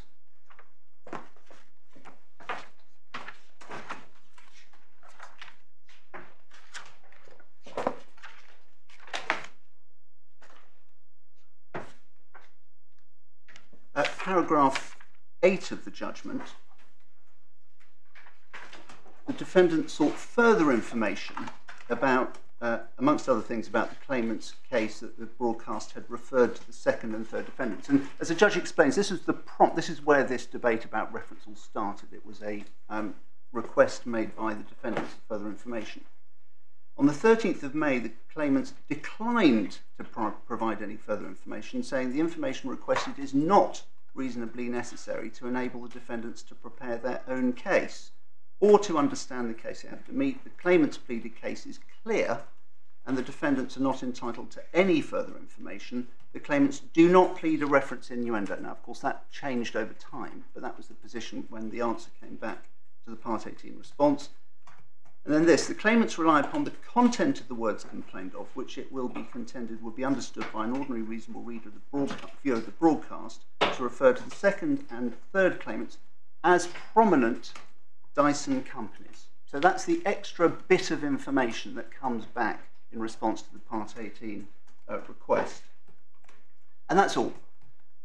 It's that they are prominent Dyson companies. So um, nothing is said about the group, about the size of the group, uh, how many companies there are within the group, the structure of the group, so where these claimant companies fit in within that structure and which uh, company is at the top of that structure, um, or where the various other companies within the structure are in the world. We know it's multinational from the pleading, but we don't know where in the world the rest of the companies are and how many there are. The judge made some observations about this case in paragraph 13, and, and they're important. They're, they're, central to the conclusion that the judge ultimately reached uh, on reference. So, what he says in paragraph 13 is it's a point to which I shall return later in this judgment, but the pleaded case as to the Dyson Group is somewhat opaque.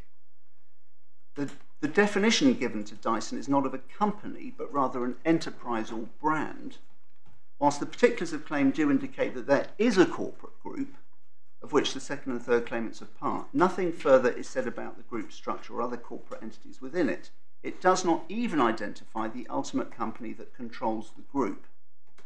The details provided in the amended particulars of claim take matters only a little further forward. Paragraph 7b1, the second and third claimants are said to be the only companies within the Dyson Group that interact with UK consumers. Now, I'll come back to that in a moment because that's the case on extrinsic reference. But on intrinsic reference, what the judge was saying is, well, I know next to nothing about this group from the case being advanced by the claimants. Um, and that's obviously important.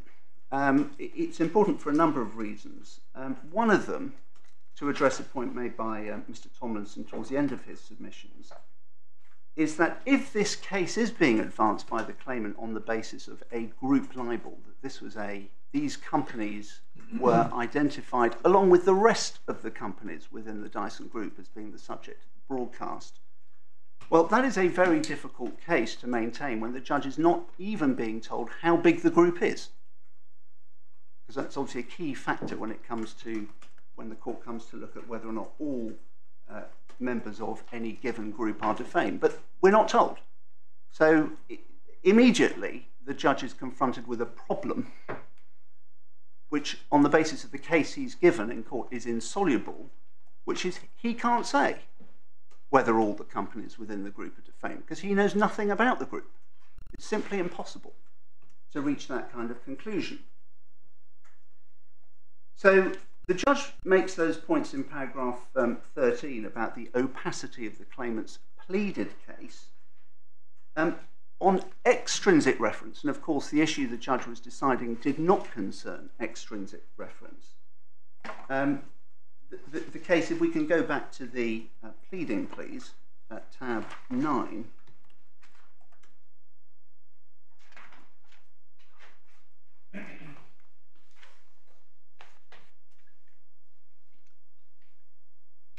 The extrinsic reference case at page 117 starts off at 7a by saying the claimant's primary case is that reasonable readers would understand the broadcaster referred to each of the claimants without special knowledge of any extrinsic facts. That's the intrinsic case. But then this, in relation to the second and third claimants, if and insofar as necessary, in the alternative, the broadcast was understood by a substantial number of viewers of the broadcast to refer to them. So this is the case that only certain viewers would understand the words to refer to the claimants on the basis of some extrinsic knowledge that they had. And that knowledge is then pleaded uh, at 7b. 7b1, the second and third claimants are the most, most prominent UK companies within the Dyson group. So whereas we had prominent when it came to intrinsic reference in response to the Part 18 response, now we have the most prominent UK companies within the Dyson group they are the only companies within the Dyson group that interact with UK consumers.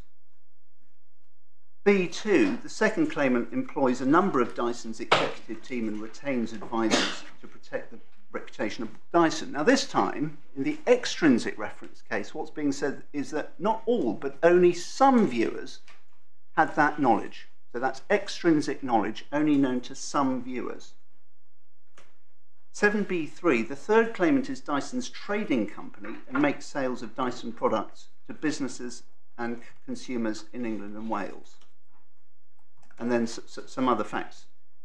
And, and as I say, 7B5, all that's being alleged here is that a proportion of viewers had that special knowledge.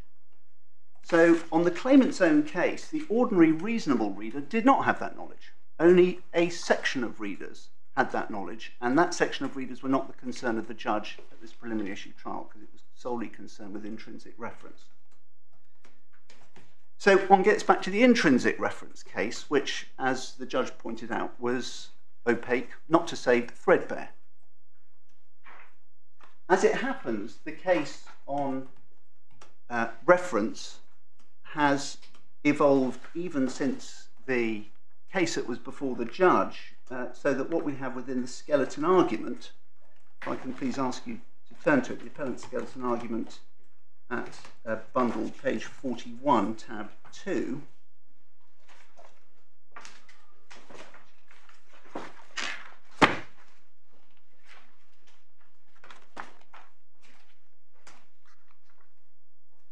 Is, is a case that is evolved, and it seems this time it, this is what is said to be the case on intrinsic rather than extrinsic reference. No, no distinction is made, but it would appear to be that this is the case that the, the claimants are making before the court today on intrinsic reference. And what's said is this. And in fact, in this case, the position is more straightforward, as the appellants are by far the most prominent uh, Dyson companies. And this time it's not UK, it's British Dyson companies. And the only British Dyson companies that interact with British consumers. Now, that is a development of the pleaded case. It's now they're not just the most prominent companies, they're by far the most prominent companies, and they're not UK companies interacting with UK consumers, but it's a narrower band. It's British companies interacting with British consumers. now, the re reason why I, I point this out is because it demonstrates the difficulty that was confronted by the judge. The, the judge on intrinsic reference had next to nothing about these particular claimant companies and was therefore deprived of information that might have enabled him to link the allegations in the broadcast with the specific claimants. Confronted with that difficulty, the case has somewhat evolved. The claimant's case has somewhat evolved and indeed continues to evolve today. Uh, and the reason for that, we suggest, is because the claimants can themselves see that the judge had a problem uh, and they're, they're trying to keep solving it. But the fact is, the problem that the judge identified is one that made him unable to find that these words related to these specific claimants on intrinsic reference basis. So th that's the starting point. and in my submission, once the court appreciates the difficulty that the judge had, it, it is readily understandable how it was that he was unable to conclude that the words related to these specific corporate claimants. Indeed, it would have been impossible for him to find that they related to these specific corporation, uh, these specific corporate claimants on the basis of the information he was provided with. Can I just ask there, the information that he's provided with um, is itself properly analysed, extrinsic, because it didn't come from the broadcast. absolutely. So how? I mean, I, I well understand that people have analysed in terms of intrinsic, extrinsic, but is it really very helpful? Well, the, the way the judge deals with this is he proceeds in his judgment um, at the beginning on the basis, if one sees this from paragraph two, if you like, on the assumed basis that the claimant's case on intrinsic reference is correct. That, that's the basis on which he approaches the case. Can you really do that on a preliminary issue can when you're be- try, trying to do that? I mean, it's a mix of strikeout, you're assuming the particulars of claim to be true, uh, and a mix of capability. Can this, is this capable of referring? It- but it's not actually determining anything. Well, it, it's not. Obviously, if, if there were, Mr. Tomlinson's right, if we had put in issue those matters, if we had said, well, hang on a minute, we don't accept that the, the second claimant is a UK based company within the Dyson Group that holds Dyson's IP, etc., third claim is a UK trading company, then it may have, there may have been a problem, and the judge may have been confronted with a situation where he couldn't resolve a dispute of fact. As it happened, this was uncontroversial. It wasn't suggested by the defendant that he could not proceed on the basis that those facts were correct. So, which paragraph the judge? This is paragraph two. This is paragraph two.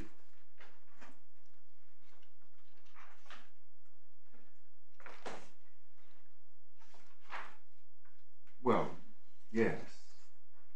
But that's just background.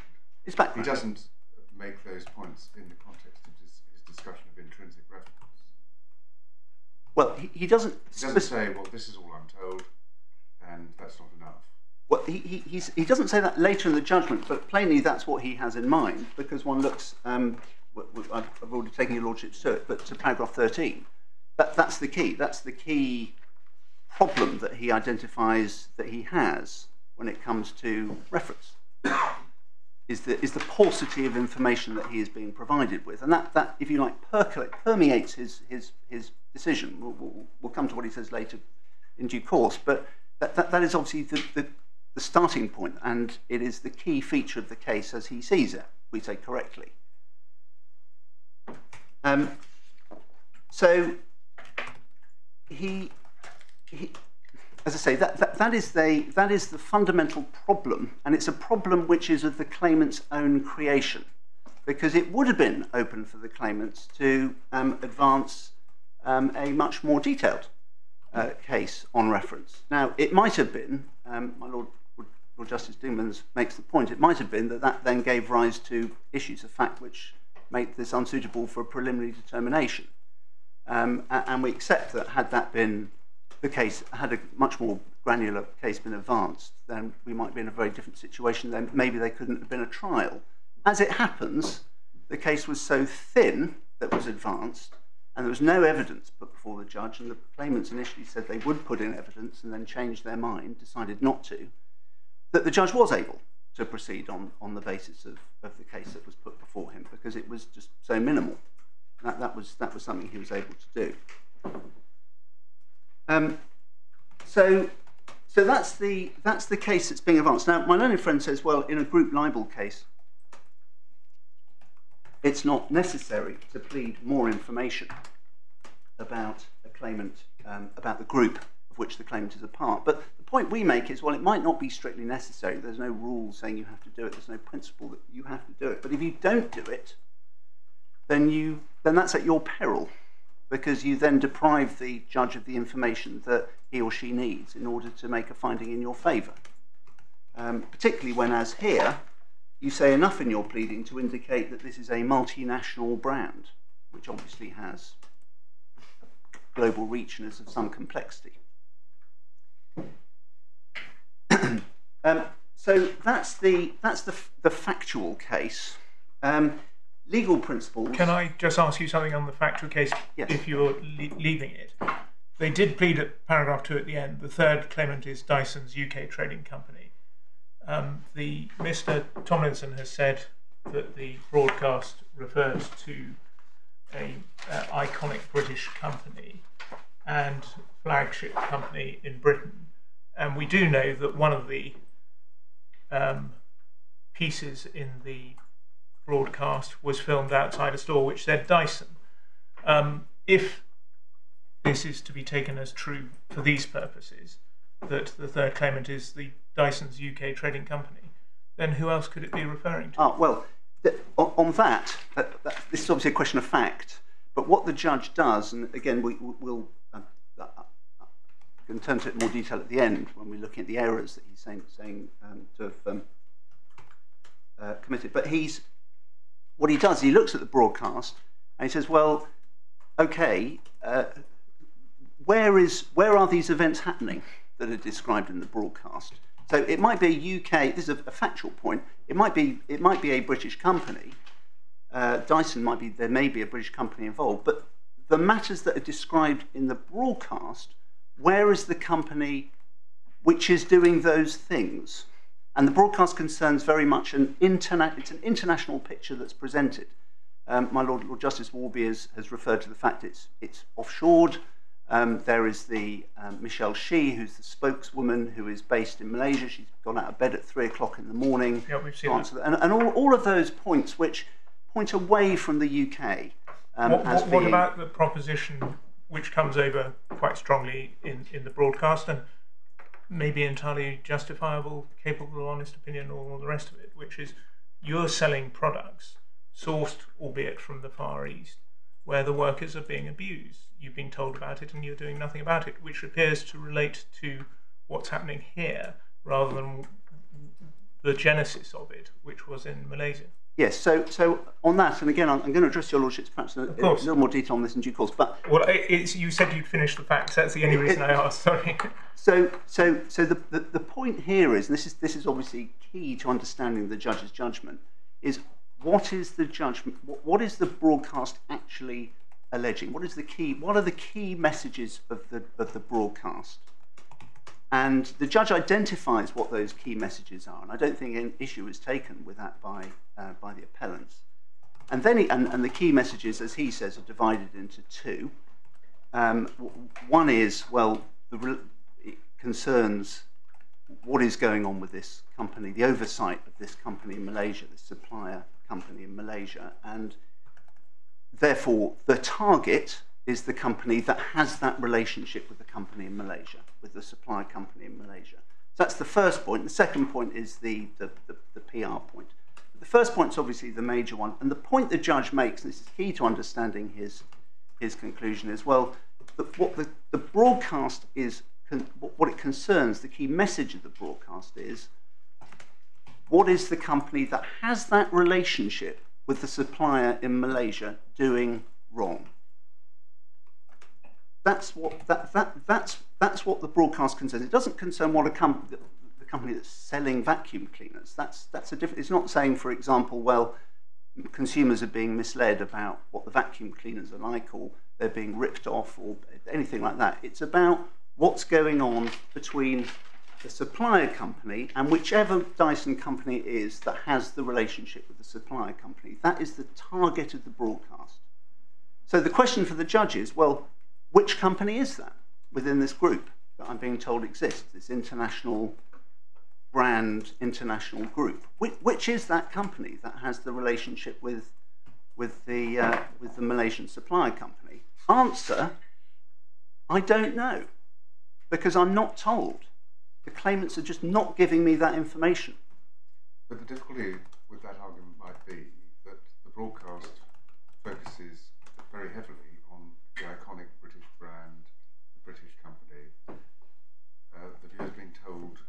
it's a British company whose reputation has been tarnished by this, these revelations. So um, the pleaded case may not tell you, but why does it need to? The question is what the broadcast. Well, the, the, the broadcast mentions British British brand, British company, but the, the, the, the judge's finding was that the real focus of the broadcast was on that relationship and that relationship concerns events in Malaysia because it's yes, all about. But the broadcast didn't say this is a huge international company, a group with many companies. We don't know. Well, there may be some company in uh, Singapore that's running this operation. Or didn't say, well, there is, or might be. They just said it's a British company and it's responsible. It's being sued, or there's a there's a there's an action being brought against well, Dyson we'll, we'll, we'll, have a look at that. But it doesn't say the British company was being sued. It doesn't, no, it doesn't, it, it doesn't explicitly say that. It, says Dyson is being sued. It, it calls Dyson an iconic British company. there is there is reference to Dyson as a, a there is reference to a, a British company, but it's a long broadcast, hmm. and the judge's finding, having watched the broadcast and having obviously read the transcript several times, is well the real focus here isn't on a British company, it's on whichever company it is that has the relationship with the, with the supplier in Malaysia, wherever that is. And I, I don't know where that is.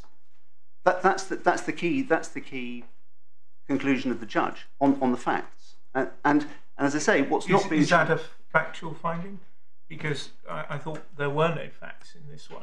And what he was asked to do, but perfectly understandably didn't, because he hadn't gone on to decide meaning. He didn't decide meaning because there was no one to whom a reference could be made. No, no, he didn't decide meaning, but part of the exercise of deciding reference is to look at what the target of the allegations is. That's, that's um, we'll look at that in a moment, but that's on the authorities, plainly something the judge, judge should do.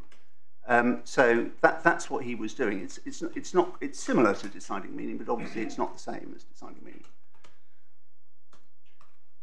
Thank you. Sorry, I interrupted you as you'd left the facts and you were about to start the legal principles. Yeah, th there is in fact very little between us on the um, on the legal principles. The judge remarked on that um, in his judgment.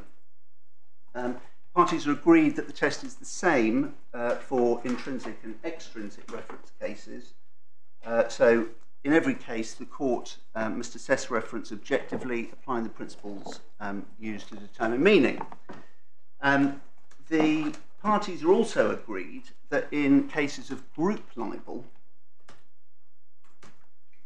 the exercise of determining um, reference requires the court to consider a variety of different factors, and these are probably best summarised in uh, Malhab. That's the case uh, from the Supreme Court in um, Canada, but there are a variety of different, different factors that come into play. Uh, and one of those factors is uh, is uh, well, what was the subject of the allegations? What was the what was which claimant was the subject of the allegations? And that involves looking at the message of the words. And that's not in contention between us. Um, my learned friend Skeleton, paragraph 55, uh, makes it clear that, that, that he doesn't take issue with that as being one of the factors that needs to be uh, looked at by the court. Um, it's also not in dispute on this appeal that the fact an article is likely to cause harm to a claimant does not mean that the claimant has a cause of action in defamation. Uh, the judge gave an example at paragraph 29 from uh, the Sungravure case. Um, again, that's, that's not, not controversial. Um, so um, it, we say in this case, um, Dyson as a brand, an international brand, um, is in a similar position uh, to um, the, the, the, case is quite similar in many ways to the Sungravure case which the, judge, which the judge cites. So that's a case in which um, the suggestion is that a, an allegation that says a car is unsafe may harm distributors in their pocket but wouldn't give them a cause of action in libel. We, we say this is a, a similar situation. The, the fact that uh, allegations are being made about the way the company operates vis-a-vis its suppliers in Malaysia does not mean that these companies necessarily have um, a claim, and, and that I, I, think is uncontroversial. Um, points of difference between us um, are perhaps subtle. Um, Palace Films comes in for some criticism by my learned friend. Um, he, he contends that the judge fell into error in deriving guidance from that case. Um, we're not sure how far this, this really gets the claimant, the, the, the assault on Palace Films, because the key principle applied in Palace Films um, is really the same as the principle that was applied in, in the Elite case. Um, and that case, the claimants don't say was wrongly decided.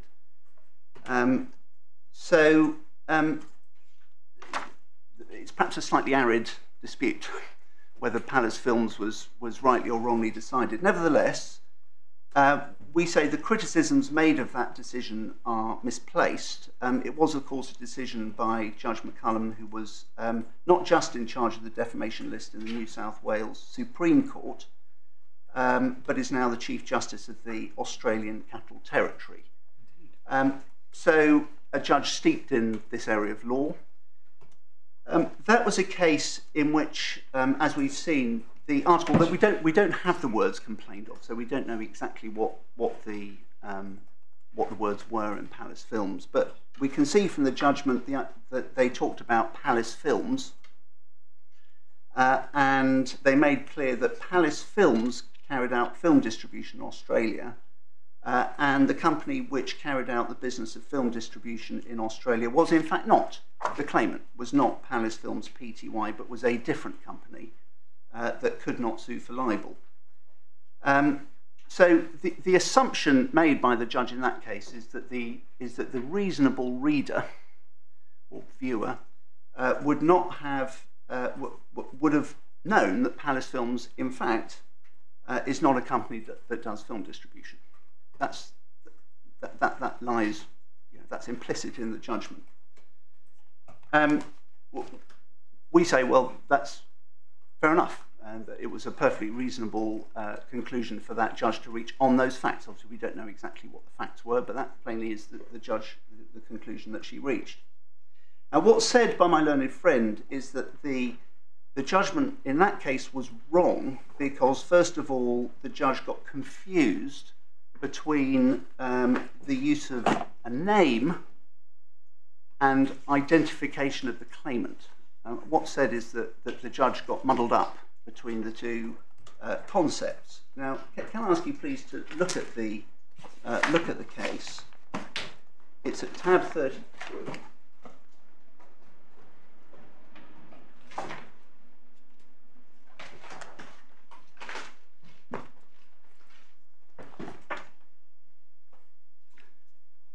Um, there are instances where the judge uses the word named, but my submission is it's quite obvious that what she meant was identified. She, she uses the two terms interchangeably, and that's, that's plain because otherwise uh, one sees that the, the judgment just doesn't make any sense. So, for example, paragraph 11 at page 840. The parties were in dispute as to whether the first plaintiff, uh, plaintiff is named in the articles. Nowhere in the articles is there reference to Palace Films Pty. Well, plainly that means identified. It can't mean named because there can't be a dispute as to whether or not Palace Films is named, only as to whether it's identified. Um, similarly, paragraph 12. Um, the, they contended at the top of page 841 that by reason of omission of the corporate characteristics Pty Limited, the first plaintiff, plaintiff was not named. Well, again, that, that submission makes no sense if what is meant is named rather than identified. Um, Sorry, which paragraph is that? Uh, that's paragraph 12, Yeah. and that's about three lines down, top of page 841. Uh, thank you. Paragraph 16, page 842, the threshold question is whether reference to Palace Films without the fu- full corporate title adequately named the first plaintiff. Again, that can only mean identified. It can't mean named as in given the name because you don't have an adequate naming. Uh, it's a binary question. So obviously what was meant was um, identified. Uh, and then finally, paragraph um, paragraph 21, the word named is not used. Here she uses identified. So accordingly, I'm satisfied in order to maintain the claim it's necessary for the first plaintiff to establish it was identified by readers with knowledge of extrinsic facts. So there she uses the word identified, but what's apparent from those preceding paragraphs and that one taken together is that the two words were used interchangeably. So well, I don't there's think that could be right. Um, looking at paragraph 18.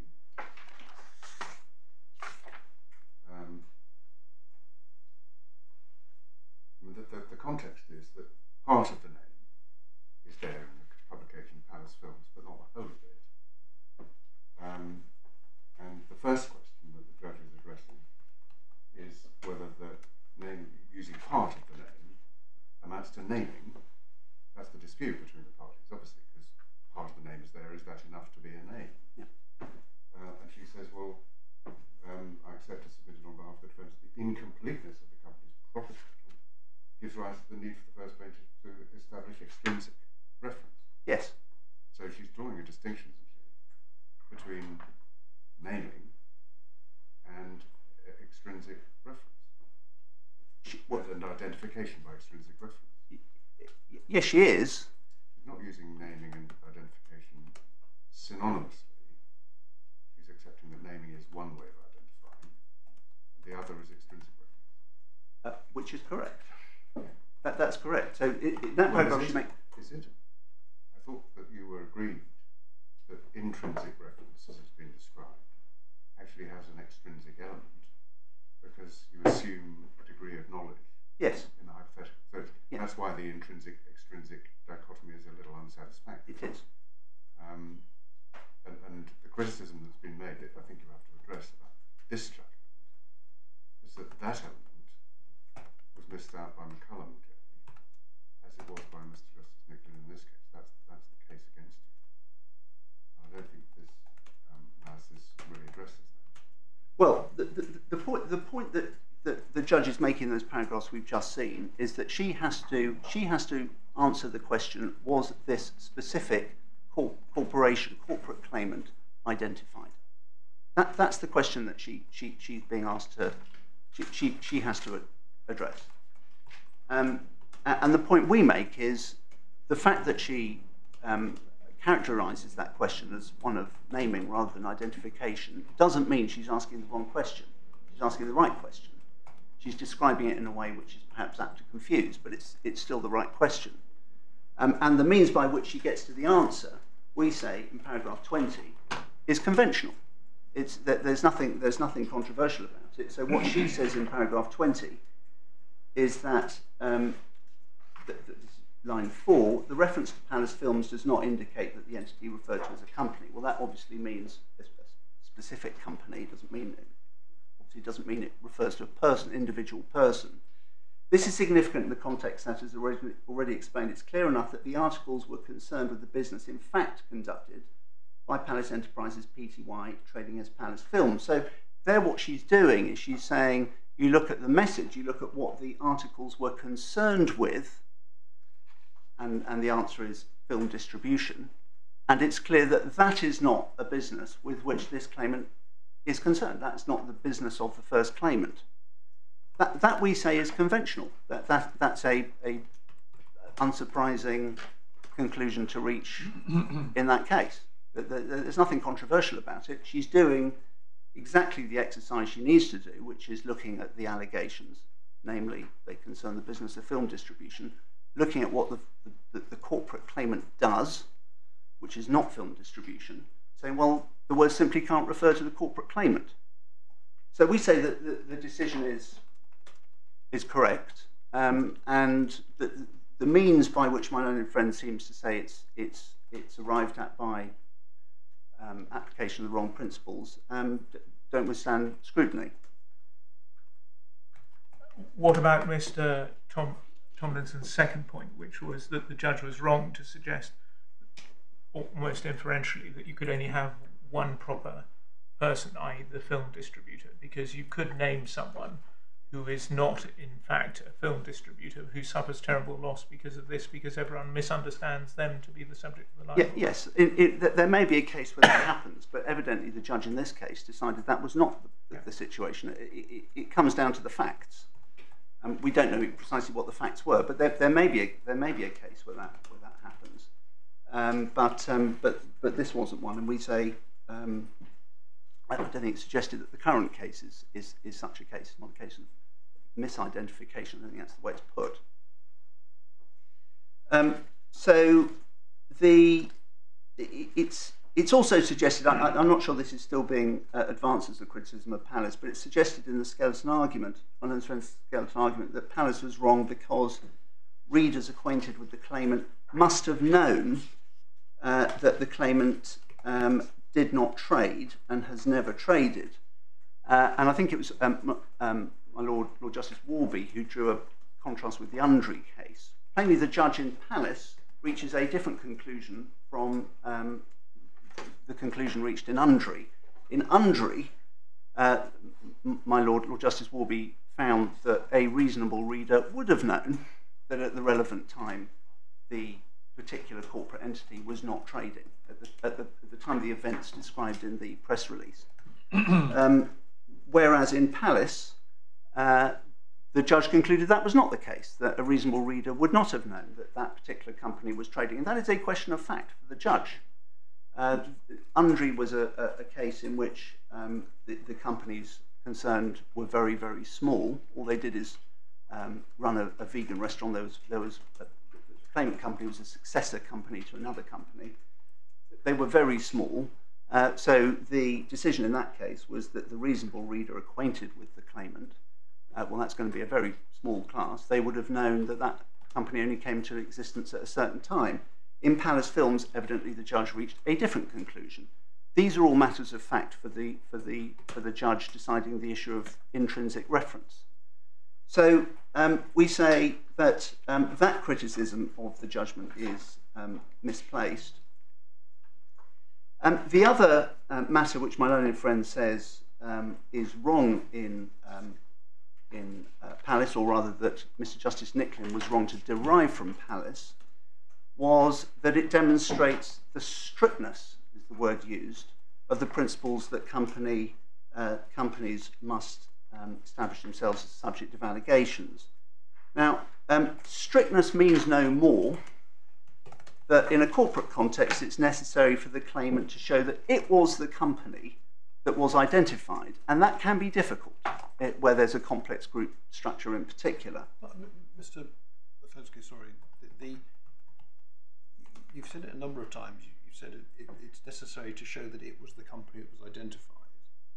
But uh, what I that's that always seems sounds from where I'm sitting to look as though you're looking at what did the person sending it out intend it to mean, but it's not, is it? No, it's no, about no. what a reasonable reader It is. would think. It is. And a reasonable reader doesn't necessarily have to think like that at all, do they? I mean, I mean, in other words, it doesn't have to be one company that's identified. Whether, whether the, the, the broadcaster could have intended to identify company A, and indeed it could be no doubt that everyone broadcasting it thinks it identifies company A, and in some sense it does. But it could also be one which a reasonable viewer could think identifies company B. It doesn't have to be one answer. No, no, my, my, my lord is right. And, the, the, the, question for the judge is, well, what would the reasonable reader conclude? Which, which, what company was identified? That, that's a, that's a question for the judge. And intention of the broadcaster, of the of the publisher, is of course irrelevant to determination of that. Which fact. is that what bothers me is that when you phrase it that way, it sounds as though it's a question which can only ever have one answer. No, no. But but the, the, the job of the, the, the judge, the fact finder, is well, what what is which is the claimant, which is the in this case company that the reasonable reader would identify as being the subject of the allegation. Why is it that? Why isn't why isn't it the way Mr. Tomlinson puts it to say, would a reasonable reader acquainted with the claimant identify it as being that company? Which isn't the same thing. Uh, well, that, that, that, that, that is the right approach. It is. It's, it's would a reasonable reader who is um, acquainted with the company, I'll- with the claimant, I'll come on to in a moment, but would a reasonable reader acquainted with the company, looking at the broadcast, identify it as the subject of the allegations? That's the that, that's the You correct that's approach. right That, that, that, that is the correct approach. Yes. Um, so, um, just coming back to the, the point about strictness, th- this we say really is no, saying no more um, than what Mr. Justice Tugendhat said in the uh, Euromoney case. This is a, a, a passage which um, we, um, which the judge uh, refers to at paragraph 61 of his judgment, where he says, perhaps you can refer to it, um, paragraph 61.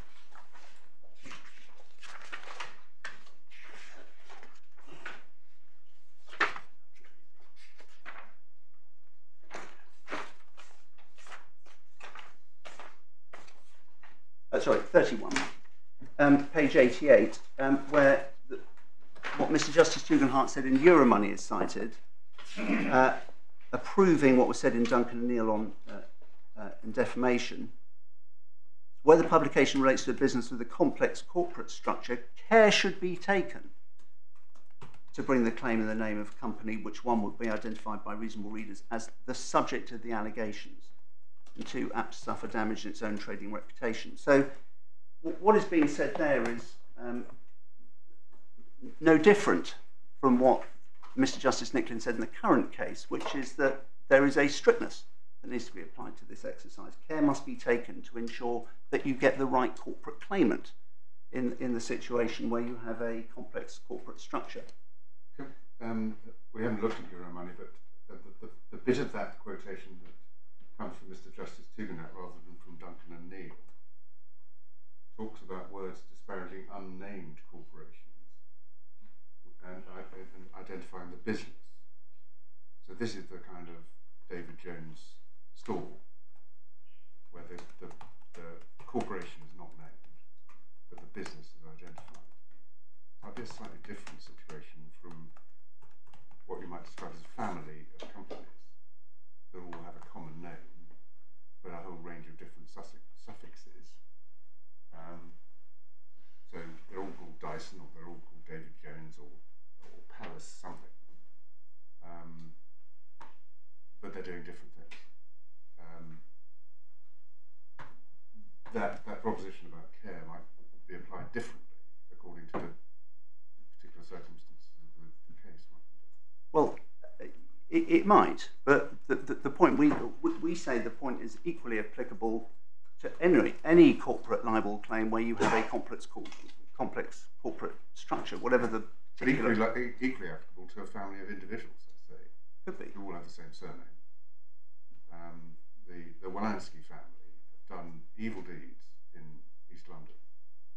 Um, you might say it's a, a sort of class libel. Um, and there might be something or there might be nothing in the um, words complained of pointed the reader or viewer or whatever in the particular individuals within that family. Um, maybe saying where they're resident or what they do. Um, so there might not be much care needed, depends on the nature of the group and the way that the, the, the words refer. But the, the, the point about corp corporate groups that, that the judge is making um, in um, in Euromoney is that there is an element of complexity that arises in the in the corporate context. That that that we suggest is uncontroversial, particularly where it's multinational, like in the current case.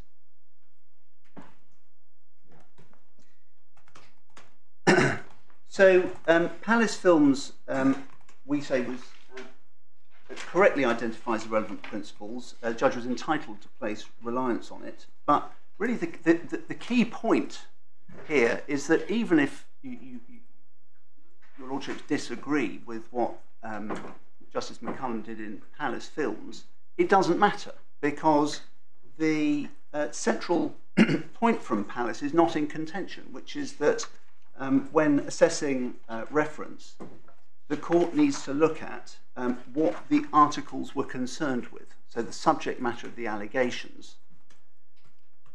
Um, the, uh, th- that is uh, not a novel principle.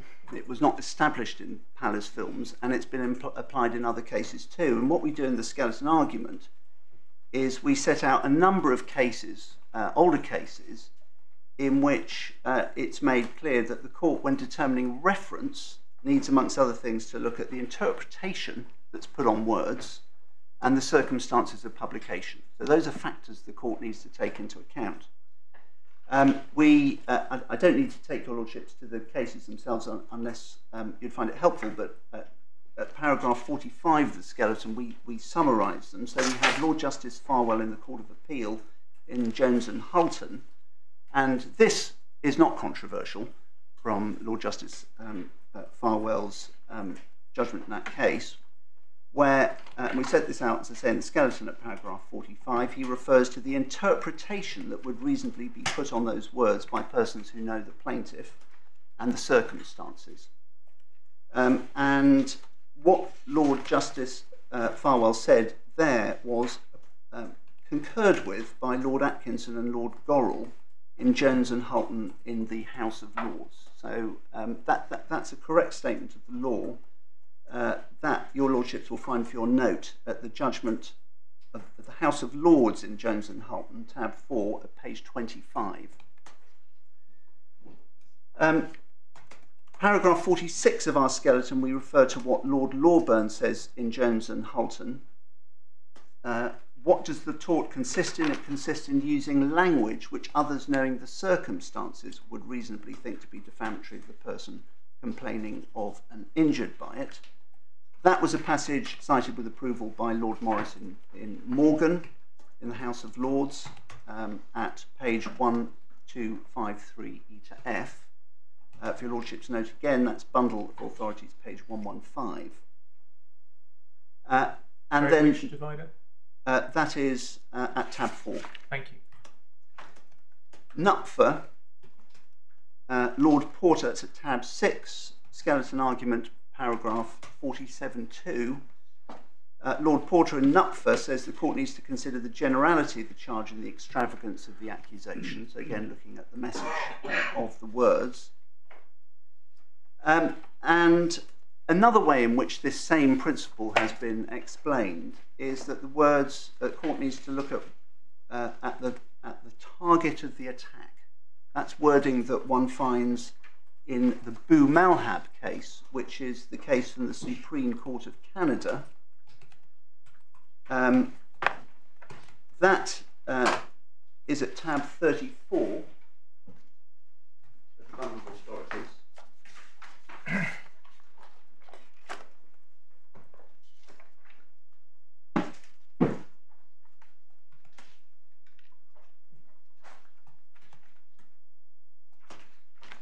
Uh, pa- paragraph 71, page 868.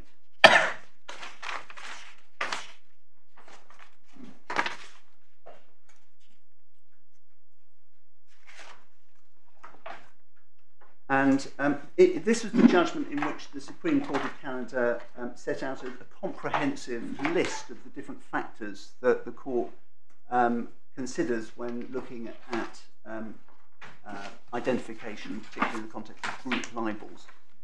So, factor four is called the real target of the defamation. So, there one sees the word target, which my learned friend criticises from Mr. Justice Nicklin's uh, judgment. In fact, it's, it's, it, this is not new.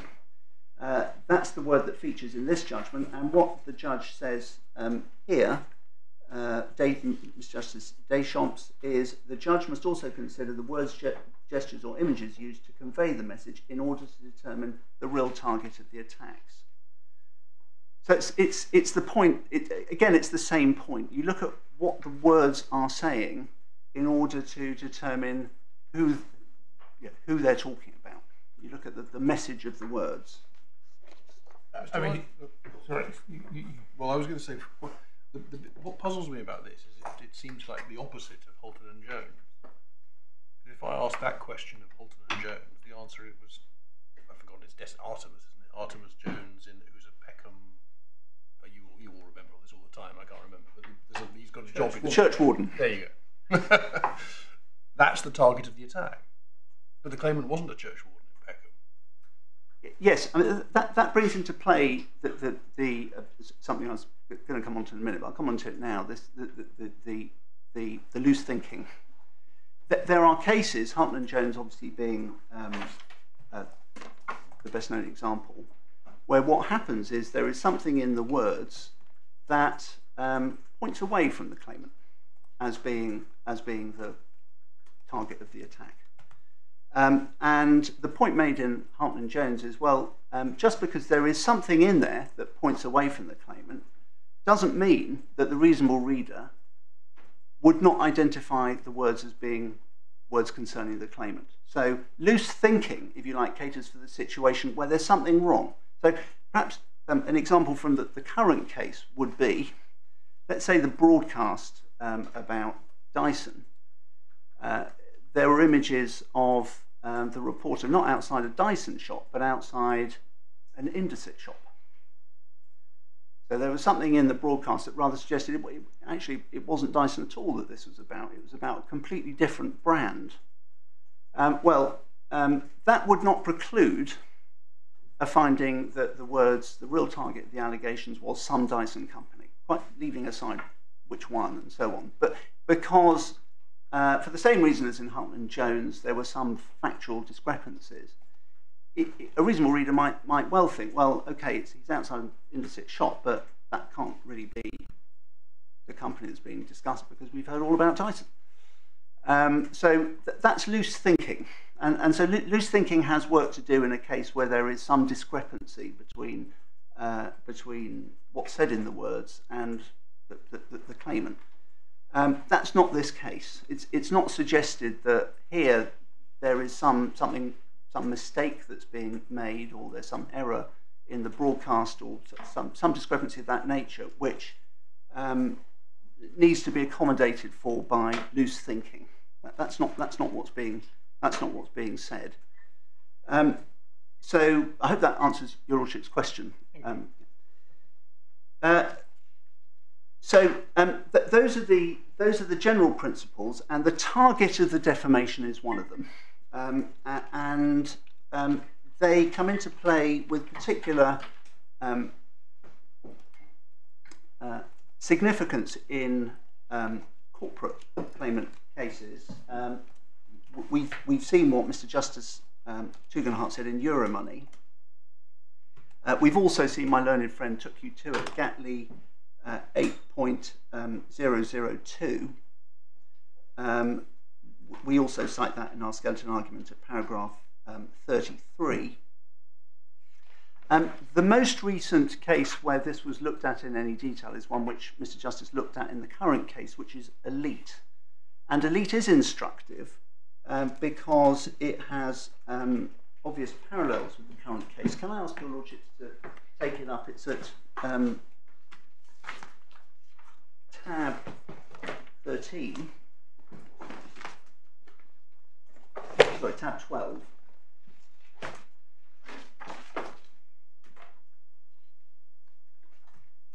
Um, this is a uh, this judgment was um, a judgment on an application um, to strike out a claim at the start of a trial. It was a trial, not a jury trial, it was a trial before Mr. Justice Eady, and it, it, it appears to have proceeded in, um, in several stages. And an application was made at an early point to strike out the claim uh, on the basis that the words could not refer to the specific corporate claimants. Now, uh, we, we don't find from this judgment exactly what the um, uh, what the words were, or uh, indeed exactly what the broadcast um, exactly what the broadcast said um, about um, the, the topics. But there is another judgment which is in tab 11, uh, where that is explained. It's an earlier judgment in the same case. It's at page 183, lines 16 to 26 of the bundle, uh, where what is said is that the programme uh, that was sued over was presented to viewers as the fruits of an undercover investigation into the world of international fashion, particularly in Milan. The claimant corporations, Elite Model Management Corporation, Elite Model Management Limited, and Elite Model Look SA are identified as being companies within the Elite Model Group. This apparently has a large role to play in the provision of fashion models throughout the relevant parts of the world. So that's what this programme was about. Where Um, are you reading from? Uh, that, that is the judgment at tab 11, the earlier judgment, Yeah, I'm in that. um, at pages, at page 183, lines 16 to 26.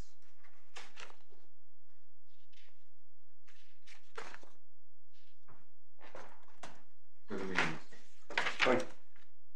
one three. Uh, going back then to the, the main judgment, which is at tab 12,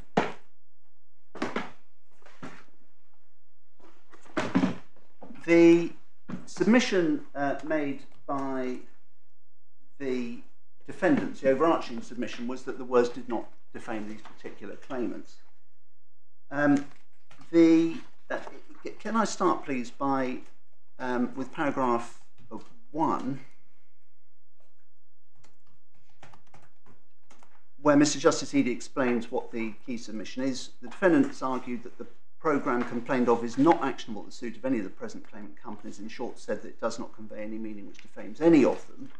The allegations reflect on individuals but not on any corporate entity. And then we have the claimant's key submission uh, described at paragraph 4. And last four lines in particular. Thus, they, that the claimants, contend that it's artificial to draw a distinction between the various corporate entities which comprise that group. Such an argument cannot be pressed too far, on the other hand, since the law requires that any claimant choosing to sue for libel must establish reference. Uh, and essentially, it's the same submission that, that was made by the claimant in the current case, which is that these the distinction can't really be drawn between the different corporate entities, uh, and that readers would understand the words to refer to the whole lot. That's essentially, essentially the same submission. I'm, I'm not sure that's an entirely fair characterisation their case. Their cases, these were the two British companies that dealt with consumers over here. They didn't ever say that you could add the rest of the Dyson group, however big and however small it was. Well, I, I, I, I'm not sure that's entirely right. The, the, the case, as we understand it, that, that certainly the case is, as described now, uh, that the, the appellants are advancing, is that this would have been understood to, uh, to, to identify the entirety of the group. It's never been. Anyway, Well, so- maybe you don't have to deal with that bit. it, it, But very- tell us what this says. Very well. So um, that's that's paragraph four. The different um, the, the, the functions of the different uh, claimant companies are described at paragraph eight. So what the judge here does is he explains what each of these corporate claimants does, the, the role it carries out within the uh, within the corporate group.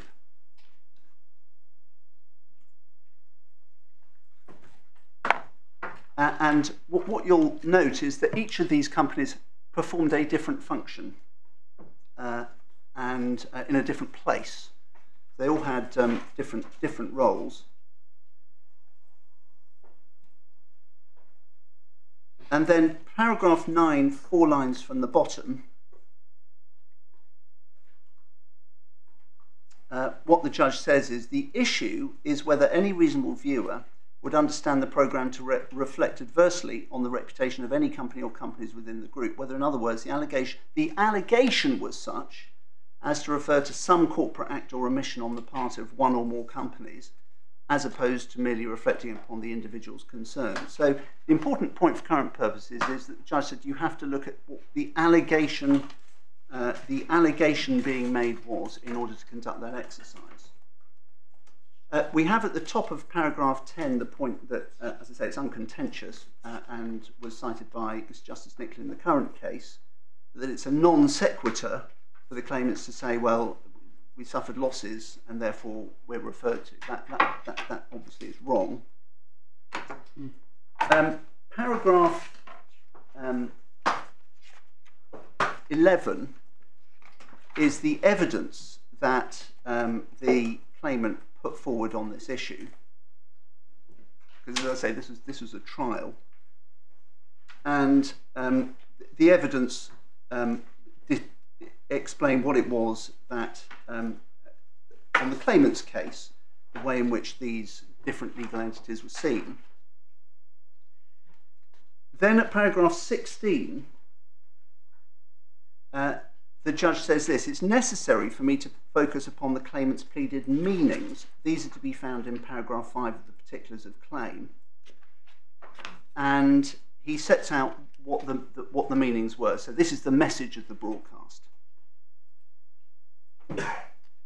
And paragraph 17, Mr. Brown submits on behalf of the defendant the allegations in the programme, therefore, may be conveniently divided into two categories. First, there are the allegations relating to the PR. Secondly, there are those relating to exploitation by senior executives and other employees. So, that again, it's the same exercise that Mr. Justice Nicklin carried out in the current case. 18. Addressing for the moment the PR's aspect of the case, it seems to me that the first and second claimants are, in the light of the evidence at this stage of the case, potentially mother agencies, identifiable to some viewers as having omitted to protect the girls for which they are at least uh, in part responsible while in Milan. Um, I shall return to particular aspects of that evidence later, but if the evidence survives at trial, this would appear to bring them at any rate within the meaning pleaded in paragraph 5.2. And he says he has great difficulty in seeing how uh, those three claimants would be construed as uh, using any of the PRs. So it's possible this could apply to one of the claimants, Elite Milan. And then he says he's not going to strike out the case because it may be that they, um, they will prevail at trial. And then 20, as to the third claimant, it's said to have a responsibility worldwide for the Elite Model Look contest and for its licensing and sponsorship arrangements. Again, some viewers are in reality likely to be aware of this. It's possible, therefore, that some reasonable viewers would have attributed one or more of the meanings pleaded at paragraph 5.2 to this corporate entity in the light of this, it seems to me that all three of the claimants are just able, on the present state of the evidence, to squeak, uh, squeak home. So, what we, what we can see here is what the judge is doing is he's looking at the message of the broadcast, in, in this case, in the meanings, and he is looking at what the claimants do, and if you like, he's marrying up the two things. He's saying, well, you, you have to you have to start with the meanings in a case like this, where there's a complex corporate structure, and you then move on to see what the claimants do, and you see whether or not they have a case on, on reference uh, in the light of those meanings. That's exactly the exercise that Mr. Justice Nicklin carried out in the current case, and we say that is uncontroversial. That is the right way to go about it. He's identifying, as Justice, just as Mr. Justice Eady identified the target of the allegations in Elite, that's exactly uh, what Mr. Justice Nicklin did in the current case. Um, the uh, I've already addressed the question of um, acquaintance uh, acquaintance with the claimant. Um, as we'll see when we come to the criticisms of the judgment, that was something that the judge uh, had in mind when he when he uh, reached the conclusion. He did refer to that explicitly.